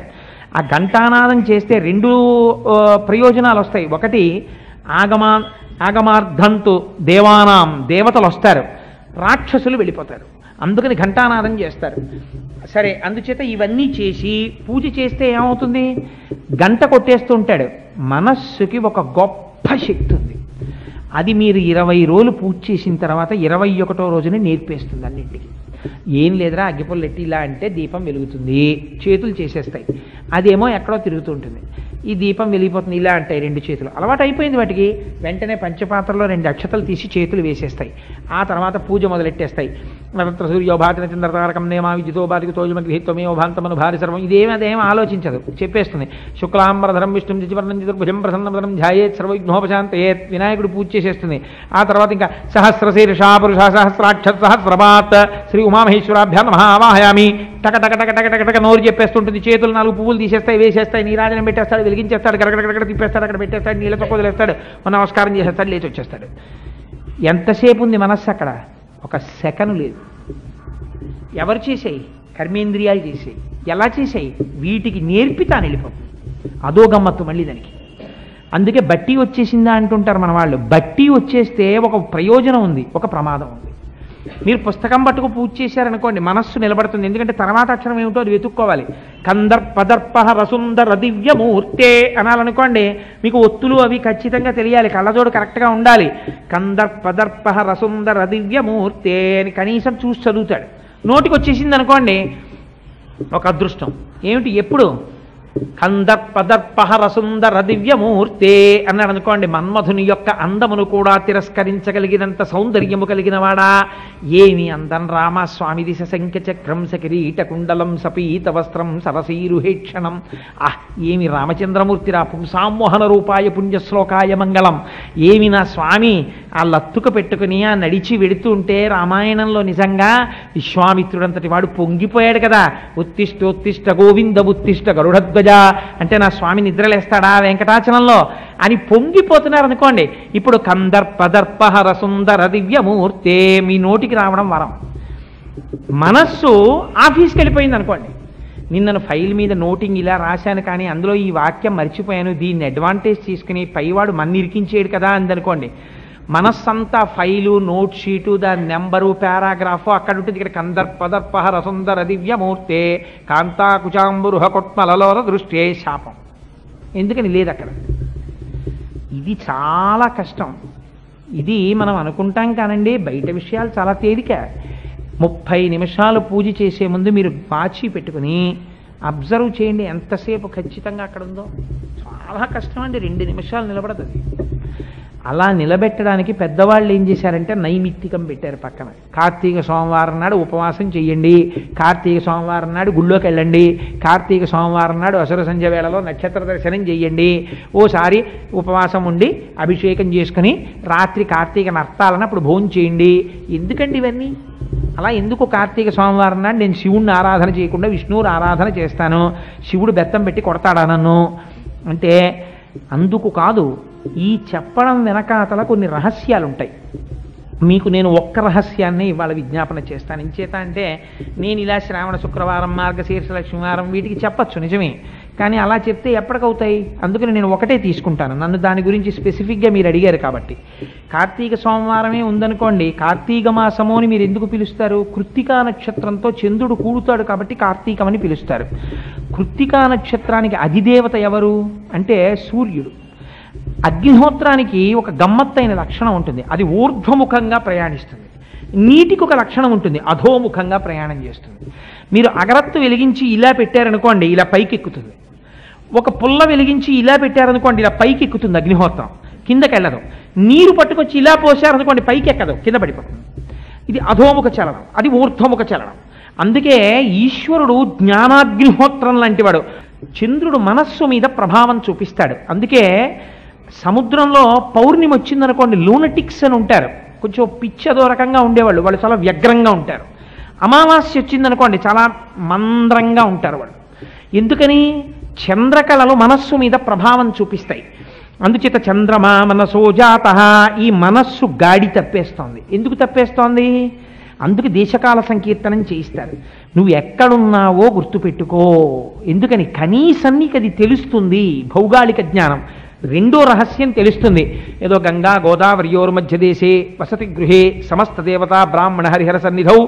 శ్రీ మహావిష్ణురాజ్ఞ ప్రవర్తమాన శాద్య బ్రహ్మణ ద్వితీయ పరార్థే శ్వేతవరాహ కల్పే వైవస్వతమంతరే కలియుగే ప్రథమ పాదే జంబూద్వీపే భరతవర్షే భరతఖండే మేరోహ దక్షిణ దిగ్భాగే అని చెప్పుకుని వచ్చి శ్రీ పార్థివనామ సంవత్సరే దక్షిణాయనే. హేమంత ఋతువు మార్గశీర్షమాసే శుక్లపక్షే దశిమ్యాం స్థిరవాసరే. శుభనక్షత్ర శుభయోగ శుభకరణయే మంగళ విశేషణ విశిష్టాయ ఎందుకు ఇవన్నీ చెప్పడం? నీకొక విషయం తెలుస్తుంది. నేను హేమంత ఋతువులో ఉన్నాను. హేమంత ఋతువు అంటే ఏమిటి? వెంటనే నీకు ఒక విషయం జ్ఞాపకం రావాలి. హేమంత ఋతువునందు బయట విశేషమైన మంచు పడుతూ ఉంటుంది.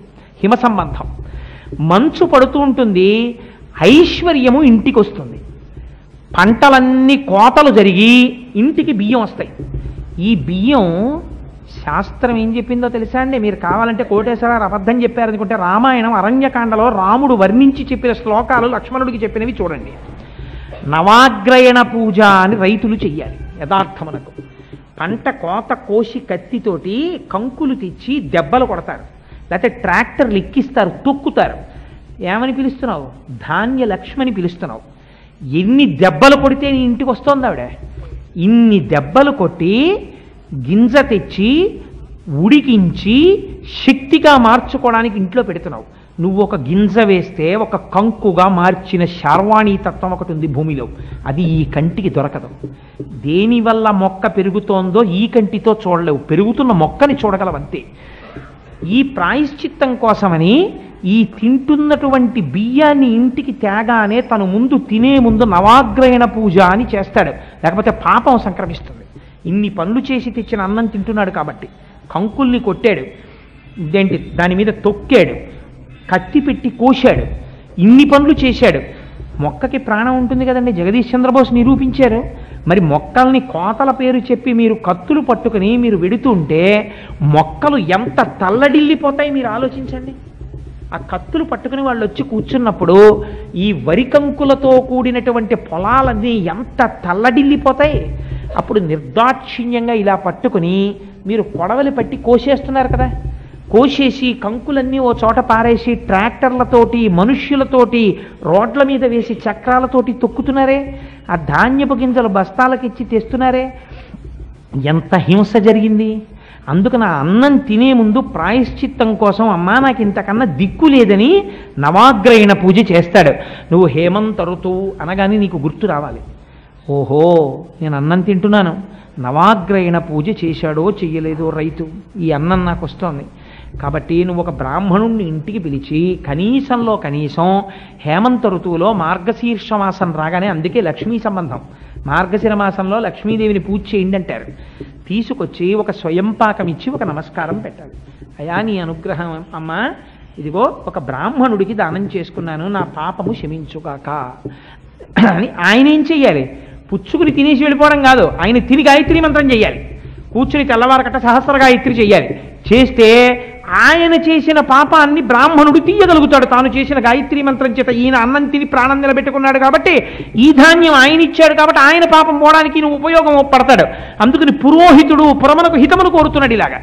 ఇది సమాజం అలా వెళ్ళాలని చెప్పింది. అందుకే బ్రాహ్మణోస్య ముఖమాసీత్ బాహూరాజన్యకృత. ఊరూతదస్య యద్వైశ్య పద్భ్యాగం శూద్రో అజాయత అని చెప్పింది శాస్త్రం. వాళ్ళు కష్టపడకపోతే సమాజం ఎక్కడ నడుస్తుంది? ఆయన మహాపండితుడే కాళ్ళు రెండు తెగిపోయి అనుకోండి ఎక్కడికి వెళ్తాడు? శూద్రులు పాదముల ఎందున్నారు అన్నారు. గమనశక్తి లేదు పాదం లేకపోతే నడవది అందుచేత అంత గొప్పవాడు వాడు బాగుండాలని ఎవరు కోరుకోవాలి? బ్రాహ్మణోస్య ముఖమాసీత్ బ్రాహ్మణుడు కోరుకోవాలి. కోరుకున్నాడు కాబట్టి పురమ యొక్క హితమును కోరాడు కాబట్టి పురోహితుడు అవ్వాలి ఇవి నీకు జ్ఞాపకం రావాలంటే నువ్వేం చేయాలి? నవాగ్రైన పూజ గుర్తు రావాలంటే నీకు హేమంత ఋతువు నువ్వు సంకల్పం చెప్పాలి. అందుకే రో నిత్య పూజలో అయితే లఘు సంకల్పం చెప్తాం. కన్యాదానం చేస్తున్నారనుకోండి మీరు. ఈ నిత్య సంకల్పం చెప్పేస్తే కుదరదు. మహాసంకల్పం చెప్పాలి అప్పుడు. అప్పుడు మహాసంకల్పం చెప్తారు అద్భుతంగా ఉంటుంది.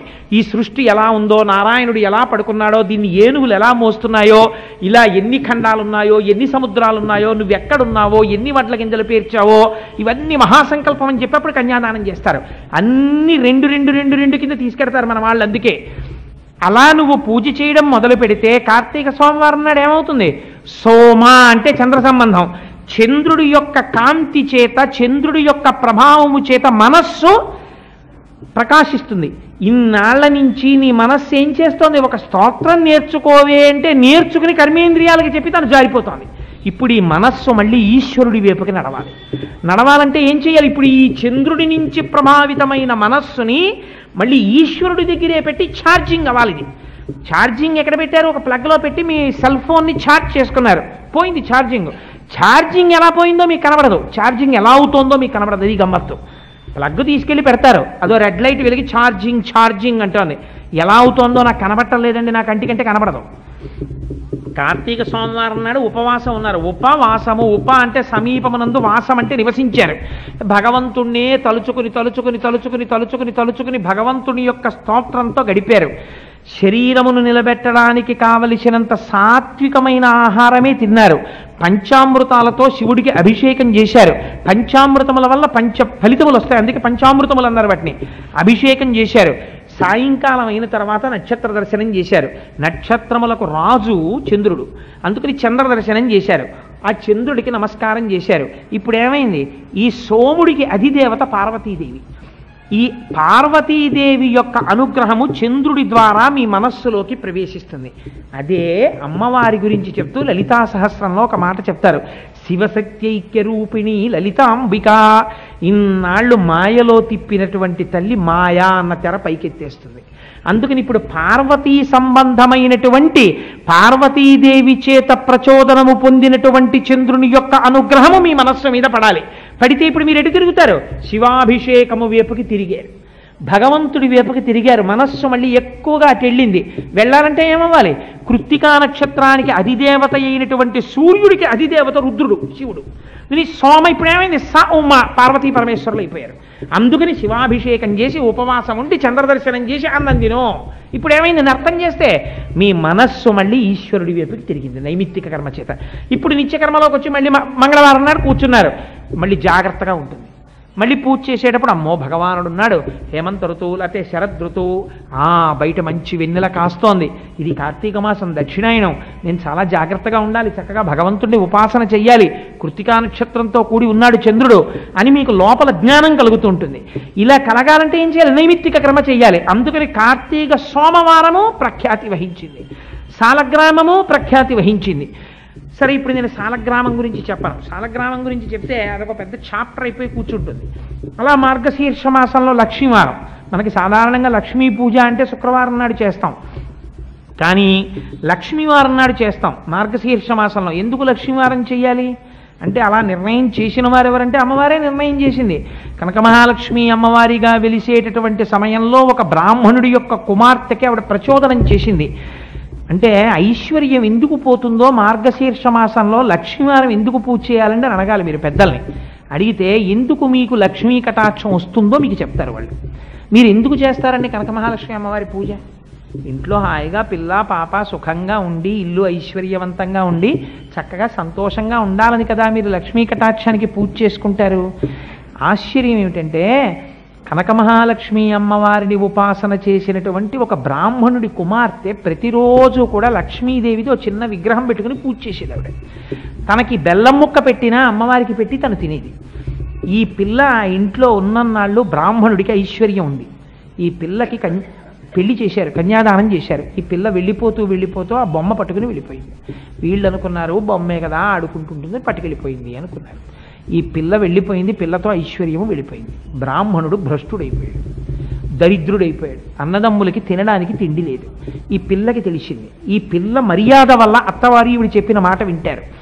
మా పుట్టింటి వారికి ఐశ్వర్యము కల్పిస్తానంది. తప్పకుండా అన్నాడు భర్త. ఆ వచ్చినటువంటి అన్నగారిని పిలిచి అన్నయ్య ఎంత బాధపడుతున్నావురా? అని ఒక కుండ తీసుకొచ్చి కుండ నిండా బొహిరీలు పోసి ఇచ్చింది కానీ అన్నయ్య జాగ్రత్త సుమా దీన్ని పట్టుకెళ్ళేటప్పుడు అని చెప్పింది. ఆయన వెడుతూ వెడుతూ ఆ కుండ తీసుకెళ్ళి ఓ చోట పెట్టి స్నానానికి వెళ్ళాడు. ఓ బాటసారి వచ్చి ఎత్తుకుపోయాడు. రెండవసారి వెదురు బొంగులో పోసిచ్చింది. అక్కడ పెట్టి వెలగపళ్ళు ఏరుకోవడానికి వెళ్ళాడు. మళ్ళీ ఎత్తుకుపోయింది. ఎత్తుకుపోయాడు బాటసారి. చిట్ట చివరికి తల్లిని తీసుకొచ్చి లక్ష్మీవారం పూజ చెయ్యని ఆడపిల్లని అత్త అమ్మ చేయించాలి నోములు వ్రతాలు. అమ్మతో ఆడపిల్ల చేయించింది. ఇది విచిత్రం. ప్రపంచంలో ఉంటారండి కొంతమంది. అల్లుడుకున్న సంస్కారం లేని మామలు అల్లుడిని చూస్తే అసహించుకునే మామలు భగవంతుడు చుట్టూ తిరుగుతున్నాడని. లేకపోతే కూతురుకున్న సంస్కారం లేని అత్త తల్లి లేరని మీరు అనుకుంటున్నారా? ఉన్నారు? అలాంటి వాళ్ళని చూసే వచ్చే వ్రతకల్పాలు. అందుకని ఆ కూతురికి ఏమి చెయ్యాలో అర్థం కాక అమ్మ ఒక్క లక్ష్మీవారం పూజ నేను చేయిస్తాను చెయ్యండి ఆవిడంది ఏం చెయ్యాలి పూజకంది? ఉపవాసం ఉండండి నేను పొద్దున్న తినేసాను ఆకలేస్తే మా ఇంట్లో ఏం లేదు కదా మీ ఇంట్లో చద్దన్నం కనబడితే తినేసాను నీ ప్రారంధం ఇలా ఉందమ్మా. వచ్చే లక్ష్మీవారం ఉండు అంది. వచ్చే లక్ష్మీవారం పూజ చేసి అమ్మా నేను ఎలా చేస్తున్నానో అలా చెయ్యి అంది. ఈవిడ ఎలా చేసిందో ఆవిడ అలా చేసింది. మీరు బాగా గుర్తుపెట్టుకోండి ఎందుకు జరుగుతాయో తేడాలు. ఈవిడ స్నానం చేసింది తల్లి స్నానం చేసింది. ఈవిడ పట్టుచీర కట్టుకుంది తల్లి పట్టుచీర కట్టుకుంది. ఈవిడ బొట్టెట్టుకుంది ఆవిడ బొట్టెట్టుకుంది ఈవిడ కూర్చుంది ఆవిడ కూర్చుంది. ఈవిడ పువ్వు వేసింది ఆవిడ పువ్వు వేసింది. ఈవిడ నాలుగు బూరులు నైవేద్యం పెట్టింది ఆవిడ నాలుగు బూరులు నైవేద్యం పెట్టింది. ఆఖరణ లక్ష్మీదేవి వచ్చి కూతురు దగ్గర కూర్చుని నాలుగు బూరులు తినేసింది. మా అమ్మ దగ్గర కూడా తినంది. నాకు అక్కర్లేదు. అదేమమ్మా అంత మాట అన్నావు? మా అమ్మకి ఐశ్వర్యం దొరకాలనే నేను ఈ వ్రతం చేయించానమ్మా అంది. అంటే ఆవిడంది చిన్నతనంలో నువ్వు బొమ్మగా ఆరాధించలేదు. ఈవిడ లక్ష్మి అని నన్ను ఆరాధన చేస్తున్నావు పట్టుకుని ఒక రోజున. మనస్సులో పరితపించిపోతూ నా పూజ చేస్తున్నావు. దిక్కుమాలిన పిల్ల అన్నానికి రాదు నీళ్ళకి రాదు అస్తమానం ఈ బొమ్మట్టు కూర్చుంటుందని చెప్పి మీ అమ్మ నిన్ను గౌను పట్టుకుని లాక్కెళ్ళి వీపు మీద కొట్టింది. నువ్వు నా భావన ఎందున్నావు కాబట్టి ఆ దెబ్బలు నేను తిన్నాను. అందుకని అసహ్యం మీ అమ్మంటే నేను ఇవ్వవలసింది తీసేశాను. అందుకని మీ అమ్మకి ఇవ్వను. అమ్మా నువ్వు ఇవ్వకపోతే ఎవరిస్తారమ్మా? కొట్టినా నువ్వే పెట్టినా నువ్వే. అందుకని అమ్మా నువ్వే పెట్టాలి ఏంది? అంటే నువ్వు అడిగావు కాబట్టి ఇస్తున్నానని ఐశ్వర్యం ఇచ్చింది. ఎందుకు పోతుంది ఐశ్వర్యం అంటే ఉన్న నాలుగు రూపాయలు చూసుకుని ఒళ్ళు కొవ్వెక్కి భగవంతుణ్ణి నమ్ముకున్న వాడిని చూసినప్పుడు నమస్కారం చేయడం చేత కాకపోతే ఐశ్వర్యం పోతుంది అది ప్రధాన కారణం. అందుకని అన్నిటికన్నా ముందు ఏదంటే భాగవతుల దగ్గర తల వంచడం నేర్చుకో. అక్కడ అత్తగారా పెద్దదా చిన్నదా కాదు నీ కడుపున పుట్టిన కూతురైనా సరే నీకన్నా భక్తిలో ఎక్కువగా ఉంటుంది అని నీకు తెలిస్తే నువ్వు మర్యాదగా ఉండాలి ఆ కూతురుతో. చాలా జాగ్రత్తగా ఉండాలి. ఆవిడ ఏ మనస్సులో రంజిల్లుతోందో జాగ్రత్తగా ఉండు. ఈ సత్యం తెలుసుకోవడానికి కనక మహాలక్ష్మి వారి పూజ. అప్పుడు ఆవిడ వరం ఇచ్చింది మార్గశీర్ష మాసంలో లక్ష్మీవారన్నాడు ప్రత్యేకించి దశమి తిథి నాడు నన్ను ఎవరు పూజ చేస్తున్నారో వాళ్ళకి అఖండ ఐశ్వర్యం ఇస్తానంది. అనుకోకుండా మీ అపార్ట్మెంట్కి పోస్ట్ పోన్ చేసి చేసి చేసి చేసి దశమి నాడు వచ్చాను నేను మార్గశీర్ష మాసంలో ఇదో విచిత్రం. అందుకని ఇది ఎవరు నిర్దేశించారు? కనక మహాలక్ష్మి అమ్మవారు నిర్దేశించింది. బురుజుపేట అని మనకి ఇప్పటికీ విశాఖపట్నంలో బురుజుపేటలో ఉంది అమ్మవారు బురుజుపేటలో ఉందంటారు. బురుజుపేట అంటే ఏమిటో తెలుసా అండి? అసలు కాశీలో అన్నం దొరకలేదని కోపగించి మహానుభావుడు శపిస్తానంటే వ్యాసుణ్ణి ఒక్కసారి బయటికి తోసేసింది అమ్మ పరమశివుడు. అగస్త్యుడు పార్వతీ కళ్యాణం కోసం విడిచిపెట్టి వచ్చాడు. వచ్చిన తర్వాత విశాఖేశ్వరుడు అని సుబ్రహ్మణ్యారాధన జరిగింది విశాఖపట్నంలో. విశాఖపట్నం సుబ్రహ్మణ్య క్షేత్రం అందుకే దానికి విశాఖపట్నం అని పేరు. అటువంటి చోట అమ్మవారు వెలిచింది తనంత తాను. అప్పుడు ఆ రాజులు కోట బురుజులు ఉండేవి. ఆ కోట బురుజుల దగ్గర అమ్మవారి దేవాలయం కట్టి వాళ్ళు అద్భుతంగా పోషణ చేశారు పూజలు చేశారు. మహమ్మదీయులు దండయాత్ర చేసినప్పుడు ఆ కోట బురుజులు పగలగొట్టి దేవాలయం పగలగొట్టారు. పగలగొడితే మళ్ళీ వాళ్ళు హైందవులు తీసుకుని తమ కోట తాము దక్కించుకున్నప్పుడు అమ్మవారికి తిరిగి దేవాలయం కట్టబోయారు. కట్టబోతే అమ్మవారు ఒకనాడు ఇంత హేయమైనటువంటి పని జరిగింది భగవంతుడన్నవాడు అంతటా ఉన్నవాడని గుర్తించలేక బిడ్డలు ఎలా తగులాడుకుంటున్నారన్నది భవిష్యత్తరాలు తెలుసుకోవాలి. అందుకని నాకు దేవాలయం వద్దు నేను నిత్యపునీతురాలను అవుతాను. ఎలా అవుతానో తెలుసా? సూర్యనారాయణుడి యొక్క చేతులు నన్ను ఎప్పుడూ తడుగుతూ ఉండాలి. కరములని కదా కిరణములకు. ఆయన చేతులు నాకు తగలాలి.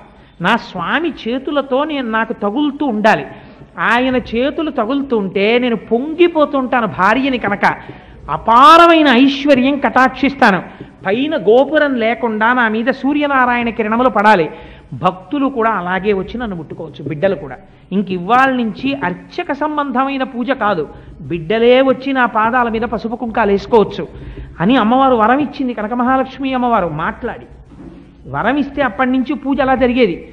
గమ్మత్తు ఏమిటంటే ఆంగ్లేయుల పరిపాలనా కాలంలో ఒక్కసారి మాత్రం విశాఖపట్నం బురుజుపేట ఇరుకైపోతోందని చెప్పి అమ్మవారి విగ్రహాలను అక్కడి నుంచి తీసేసి తరలించారు. విశాఖపట్నం విశాఖపట్నం అంతా అంతు తెలియని వ్యాధి వచ్చేసింది. వచ్చేస్తే అప్పుడు ఆంగ్లేయుల మీద తిరగబడ్డారు. మీరు కనక మహాలక్ష్మి అమ్మవారి యొక్క మూర్తిని తొలగించడం వల్లే ఇవన్నీ వచ్చాయి ఎక్కడ తీశారో మళ్ళీ అక్కడ పెట్టేసేయండి అని. మళ్ళీ తీసుకెళ్ళి అమ్మవారి విగ్రహాన్ని యథాస్థానమనందు పెట్టేశారు.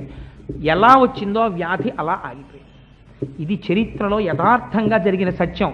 కోటేశ్వరరావు గారు అబద్ధం చెప్పాడని మీరు అనుకుంటే మీరు కనక మహాలక్ష్మ వారి దేవస్థానం వాళ్ళని అడగచ్చు. ఇది నిజమేనా అండి అని. ఇది బుక్స్లో ఇప్పటికీ కూడా పరమసత్యంగా ఉన్నది.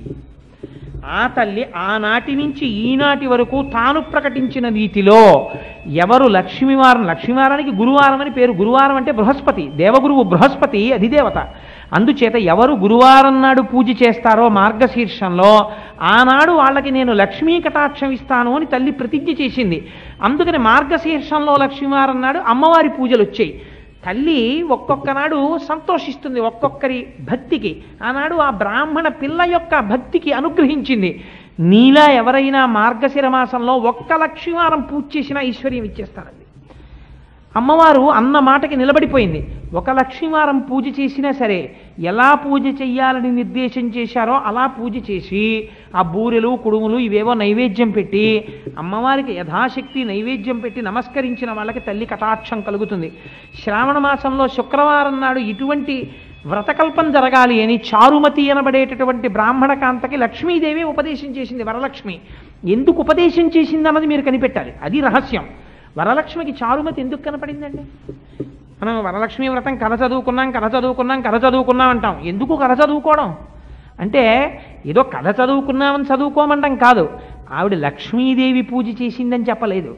అత్తమామల్ని సేవించింది భర్తని దైవంలా చూసుకుంది. ఇంట్లో తెల్లవారి లేచేటప్పటికి స్నానం చేసి ఇల్లాలు ఎలా ఉండాలో అలా ఉండేది. అంతే ప్రీతి చెందింది అమ్మవారు.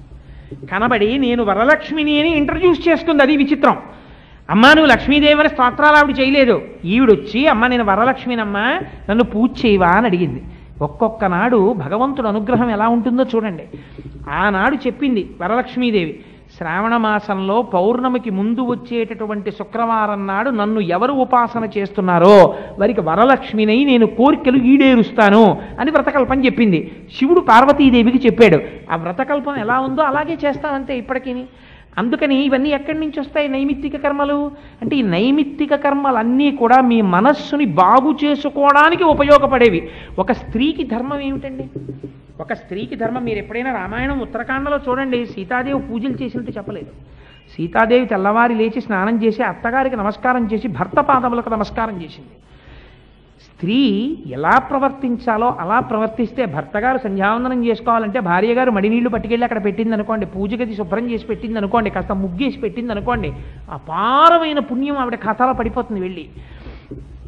ఆవిడ నేను పూజ చేసుకోవాలి నీ ఇష్టం నువ్వు చేస్తే చేసుకోవాలి అట్లా మానే అందనుకోండి. నా పూజ అయ్యాక ఎన్నింటికి నువ్వు చేయి సంధ్యావందనం అంటే ప్రా ప్రాయశ్చిత్త సంధ్యావందనం మొగుడు చేసుకునేటట్టు చేసిన పాపం ఆవిడ ఖాతాలో పడిపోతుంది వెళ్ళి. ఎలా ఉండాలో అలా ఉండాలి. అలా ఉంది కాబట్టి చారుమతికి వరలక్ష్మీదేవి దర్శనమిచ్చింది. నువ్వు అలా ఉండడం నేర్చుకో.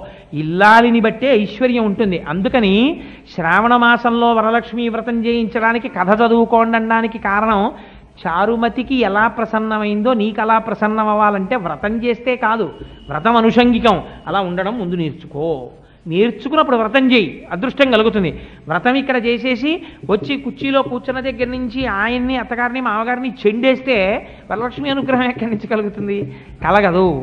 అందుచేత ఇవి తెలుసుకోవడానికి మనసుకు పట్టిన బూజుని కర్ర పెట్టి దులపడానికి నైమిత్తిక కర్మలు వస్తాయి.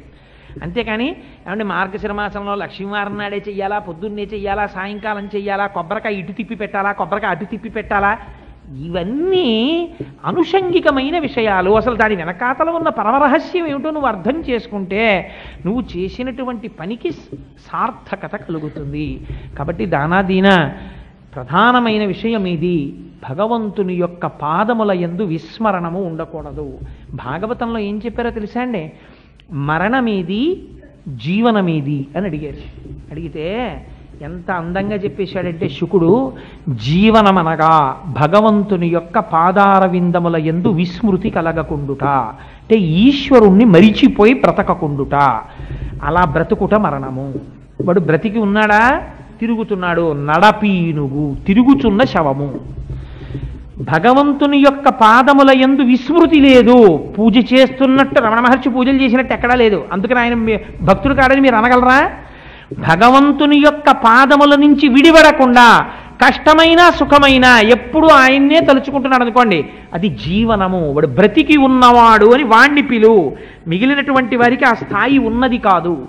కాబట్టి జీవించి ఉన్నాడా మరణించి ఉన్నాడా? భగవంతుని యొక్క నామము తోడి అనుబంధము. ఏది జరిగినా ఈశ్వరానుగ్రహాన్ని చూడడం.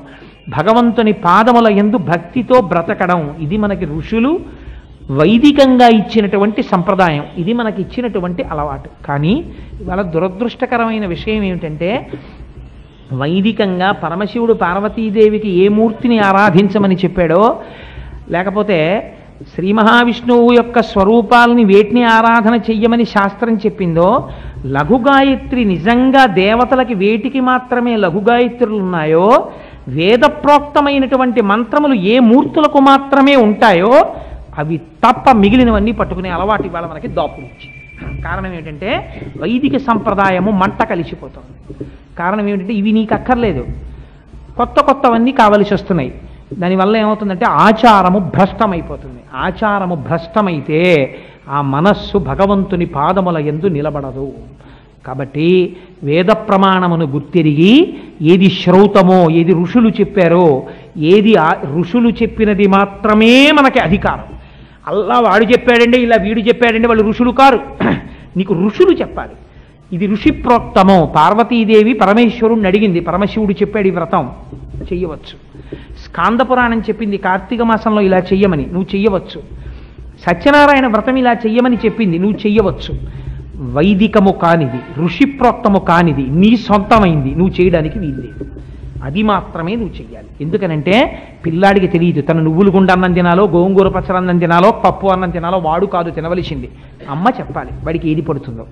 అమ్మ పెట్టినది తింటే వాడి ఆరోగ్యం బాగుంటుంది. వాడు సొంతంగా తినడం మొదలెడితే నానా స్పెషలిస్టుల దగ్గరికి వెళ్ళవలసి ఉంటుంది. అందుకని అమ్మ వేదం. వేదమాత గాయత్రి. గాయత్రి అనుష్ఠానం మానేసి మిగిలినవి ఎన్ని పూజలు చేసినా మిగిలిన ఎన్ని గొప్ప గొప్ప దేవాలయాలు మేము తిరిగామన్నా ఎంత కొత్త కొత్త విషయాలు పట్టుకున్నా భ్రష్టుడవుతావేమో కానీ ఉన్నతిని పొందలేవు. ఇది మాత్రం పరమ సత్యం. సత్యం సత్యం పునఃసత్యం. ఇందులో నాకేం భయం లేదు. ఉన్న మాట ఉన్నట్టు చెప్తున్నాను. అసలుది పట్టుకుని వైదికమైనటువంటి విషయాన్ని పట్టుకుని అనుషంగికంగా నువ్వు ప్రపంచాన్ని ప్రేమించు. అందరి ఎందు జ్ఞానముతో ఆనందముతో ఒక నమస్కారం చేయి. అది దోషమని ఎప్పుడూ చెప్పదు శాస్త్రం. ప్రతి వాణ్ణి మహానుభావుడిని నమస్ నమ- నమస్కారం చేయి. పూజ చేయి. ఒక పుష్పం సమర్పించి ఒక పుష్పహారం వేయి. ఏమీ దోషం ఉండదు. కానీ అసలు వేదప్రోక్తం ఏదో ఋషులేవి చెప్పారో అవధులేసి అక్కర్లేనివన్నీ నువ్వు పట్టుకుంటే పాడైపోతావు. అందుకని ఋషిప్రోక్తం ఏదో అది తెలుసుకో. పూజా విధానము ఎలా చెప్పబడిందో అది తెలుసుకో. అలా చేయి. అది దాని వెనకాతల నీ ఆరోగ్యం ఉంది నీ మనస్సు ఉంది నీ ప్రాణం ఉంది నీ ప్రాణశక్తి ఉంది నీ అభివృద్ధి ఉంది నీ కుటుంబం అభివృద్ధి ఉంది. ఇన్నింటిని ఋషులు దాచారు. అమ్మ చెప్పిన ప్రతి పనికి కారణాలు చెప్పక్కర్లేదు. ఒరే ఇంకా పడుకో పదైంది రేపు తెల్లవారకట్లేదు చదువుకుందు కానీ అని అమ్మ అనడం వెనకాతల నీ ఆరోగ్యం ఉంది. అమ్మ వీడిని పదింటి వరకే చదువుకునేటట్టు చేసి పడుకోబెట్టేస్తే వీడికి ముప్పై మూడు మార్కులే వచ్చి ఫెయిల్ అయిపోతే వాళ్ళ నాన్న పట్టుకుని చావ కొట్టేస్తుంటే చూసి సంతోషిద్దామని పడుకోబెడుతుందండి. పది గంటలు దాటి చదివితే వీడు మర్నాడు పరీక్ష రాయలేడు. వీడికి నిద్ర వచ్చేస్తుంది పరీక్షలో. నా కొడుక్కి బలహీనత ఇది. అందుకని పది గంటలకు పడుకోబెట్టేస్తుంది అమ్మ అమ్మ ఎలా చెప్తుందో ఋషులు అలా చెప్తారు. కాదని అమ్మ మాట నువ్వు పదకొండు వరకు చదివితే వచ్చినట్టుగా ఉన్నది పరీక్ష హాల్లో జారిపోయినట్టు. నీకు చాలా బాగున్నట్టు అనిపించింది నీ పతనానికి తీసుకెళ్ళిపోతుంది. నాచు మెట్ల మీద ప్రయాణం అవుతుంది. కాబట్టి అది తెలిసి ఋషి ప్రోక్తములు వైదికమైనటువంటి విషయములను మాత్రమే పట్టుకుని తర్వాత నువ్వు ప్రతి మూర్తికి నమస్కారం చేయి ప్రతి వారిని ఆదరించు అంగీకరించు ఒక నమస్కారం చేయి దోషం లేదు. అలా ఉపాసన ఉండాలి. పూజ గురించి మీరు నాలుగు మాటలు నన్ను చెప్పమన్నారు కాబట్టి ఇవాళ పూజ గురించి నాలుగు మాటలు నిత్య నైమిత్తిక కర్మల గురించి తెలియచేసి ఉన్నాను. ఇంకా ఇంతకన్నా నేను విశేషంగా వ్రతకల్పములు వీటి గురించి మాట్లాడితే ఇవాళ ఉపన్యాసం పూర్తయ్యే అవకాశం ఉండదు. ఎందుకు అలా ఆరాధన చేస్తారు? ఎందుకు మంటపాలు వేస్తారు? ఎందుకు అలా ప్రసాదాలు పెడతారు? ఆ ప్రసాదానికి కూడా ఎందుకు అలా నిబద్ధం చేస్తారు? సత్యనారాయణ స్వామి వారి ప్రసాదం సమోసాలు పెట్టకూడదా అంటే పెట్టకూడదండి నేను ఎందుకు అనాలి? ఆ సత్యనారాయణ ప్రసాదం అంటే ఆ గోధుమ నూకతోనే ఎందుకు చేయాలి? ఏమంటే సౌత్ ఇండియా అంతా బియ్యం తింటారు కదా. సత్యనారాయణ స్వామి వారికి ఒక్కరికి గోధుమ నూకతో ప్రసాదం ఏంటంటే బియ్యం నూకతో చేయకూడదా? గోధుమ నూక కూడా చెప్పాలా? స్కాంద పురాణం వ్యాసుడు చెప్పాలి. ఎందుకు చెప్పాడో వ్యాసుడికి తెలుసు నీకేం తెలుసు? దాని గురించి పెద్దలను అడిగితే తెలుస్తుంది ఎందుకు చేస్తారో గోధుమ ఒక ప్రసాదం. దాని మీద అరటిపండు ఎందుకు ఎడతారో. శివలింగానికి అభిషేకం చేసే ముందు పువ్వు ఎందుకు బోర్లు ఇస్తారో పెద్దలను అడిగితే తెలుస్తుంది. నీకేం తెలుస్తుంది? నీ అంతా నీకు తెలియదు పుస్తకం అన్నా పట్టుకుని జాగ్రత్తగా చదవాలి. పెద్దల పాదాలు పట్టుకునన్నా తెలుసుకోవాలి. అందుకని ఇప్పుడు నేను ఆ వ్రతకల్పాలు వ్రత మంటపాలు మంటపాలు ఎందుకు వేస్తారు ఆ వాహనాలు ఎందుకు చేస్తారు ఇవన్నీ మొదలెట్టాను అనుకోండి నిష్కారణంగా పిలిచాం వీడిని అని మీరు బాధపడేటటువంటి పరిస్థితి నేను తేకూడదు కదా. అందుచేత నాలుగు మాటలు నాకు తెలుసున్నవి మీకు తెలియచేశాను. ఒకవేళ అందులో ఏదైనా మీకు మనస్సు క్లేశం కల్పిస్తే నన్ను మన్నించండి. ఇందులో ఆదరించగలిగిన విషయం ఉంది అని మీకు అనిపిస్తే అవి నేను పెద్దలు చెప్పినవి చెప్పాను తప్ప నా సొంత కవిత్వం ఇందులో ఏమీ లేదు. ఆ గొప్పతనం ఏదైనా ఉంటే ఋషులకు పెద్దలకు మాత్రమే చెందుతుంది అని తెలియచేసుకుంటూ సరే ఒక దశమి మంగళ మార్గశీర్ష మాసంలో ఇంత మంచి కాలంలో అసుర సంధ్య వేళలో భగవత్ సంబంధమైన విషయం ఇది కూడా మనస్సు బూజు దులుపుకోవడమే కదండి. ఇది కూడా ఒక నైమిత్తిక కర్మ. ఎందుకు పూజ చేయాలి అని? ఇప్పుడు ఇది చెప్పిన తర్వాత రేపు నేను పూజ చేసే ముందు నా ఒళ్ళు దగ్గర ఉంటుంది. ఎందుకంటే నిన్ననే కదా చెప్పొచ్చాను అపార్ట్మెంట్లో నేను జాగ్రత్తగా చేద్దాం ప్రాణాయామం ఇలా ఇలా అంటే అలాగా అని జాగ్రత్తగా చేస్తాను. ఆచమనం జాగ్రత్తగా చేస్తాను కదా రేపు చేసేటప్పుడు. అందుకని ఇది నేను కూడా బూజు దులుపుకునే ప్రక్రియే. అందుచేత నాకు ఇంత గొప్ప అవకాశం ఇచ్చిన మీ అందరికీ నేనే కృతజ్ఞతలు ఆవిష్కరిస్తూ మంగళాశాసనపరై మదాచార్య పురోగమై సర్వైశ్చ పూర్వైరాచార్యై సత్కృతాయాస్తు మంగళం. మంగళం కోసలేంద్రాయ మహనీయ గుణాత్మనే చక్రవర్తి తనూజాయ సార్వభౌమాయ మంగళం. ఉమాకాంతాయ కాంతాయ కామితార్థప్రదాయిని శ్రీగిరీశాయ దేవాయ మలినాథాయ మంగళం. కరచరణకృతం వా కర్మ వాక్కాజయం వా శ్రవణనైనజం వా మానసం వాపరాధం విహితమ విహితం వా సర్వమేత్తక్షమస్వ శివ శివ కరుణాబ్ధే శ్రీ మహాదేవ శంభో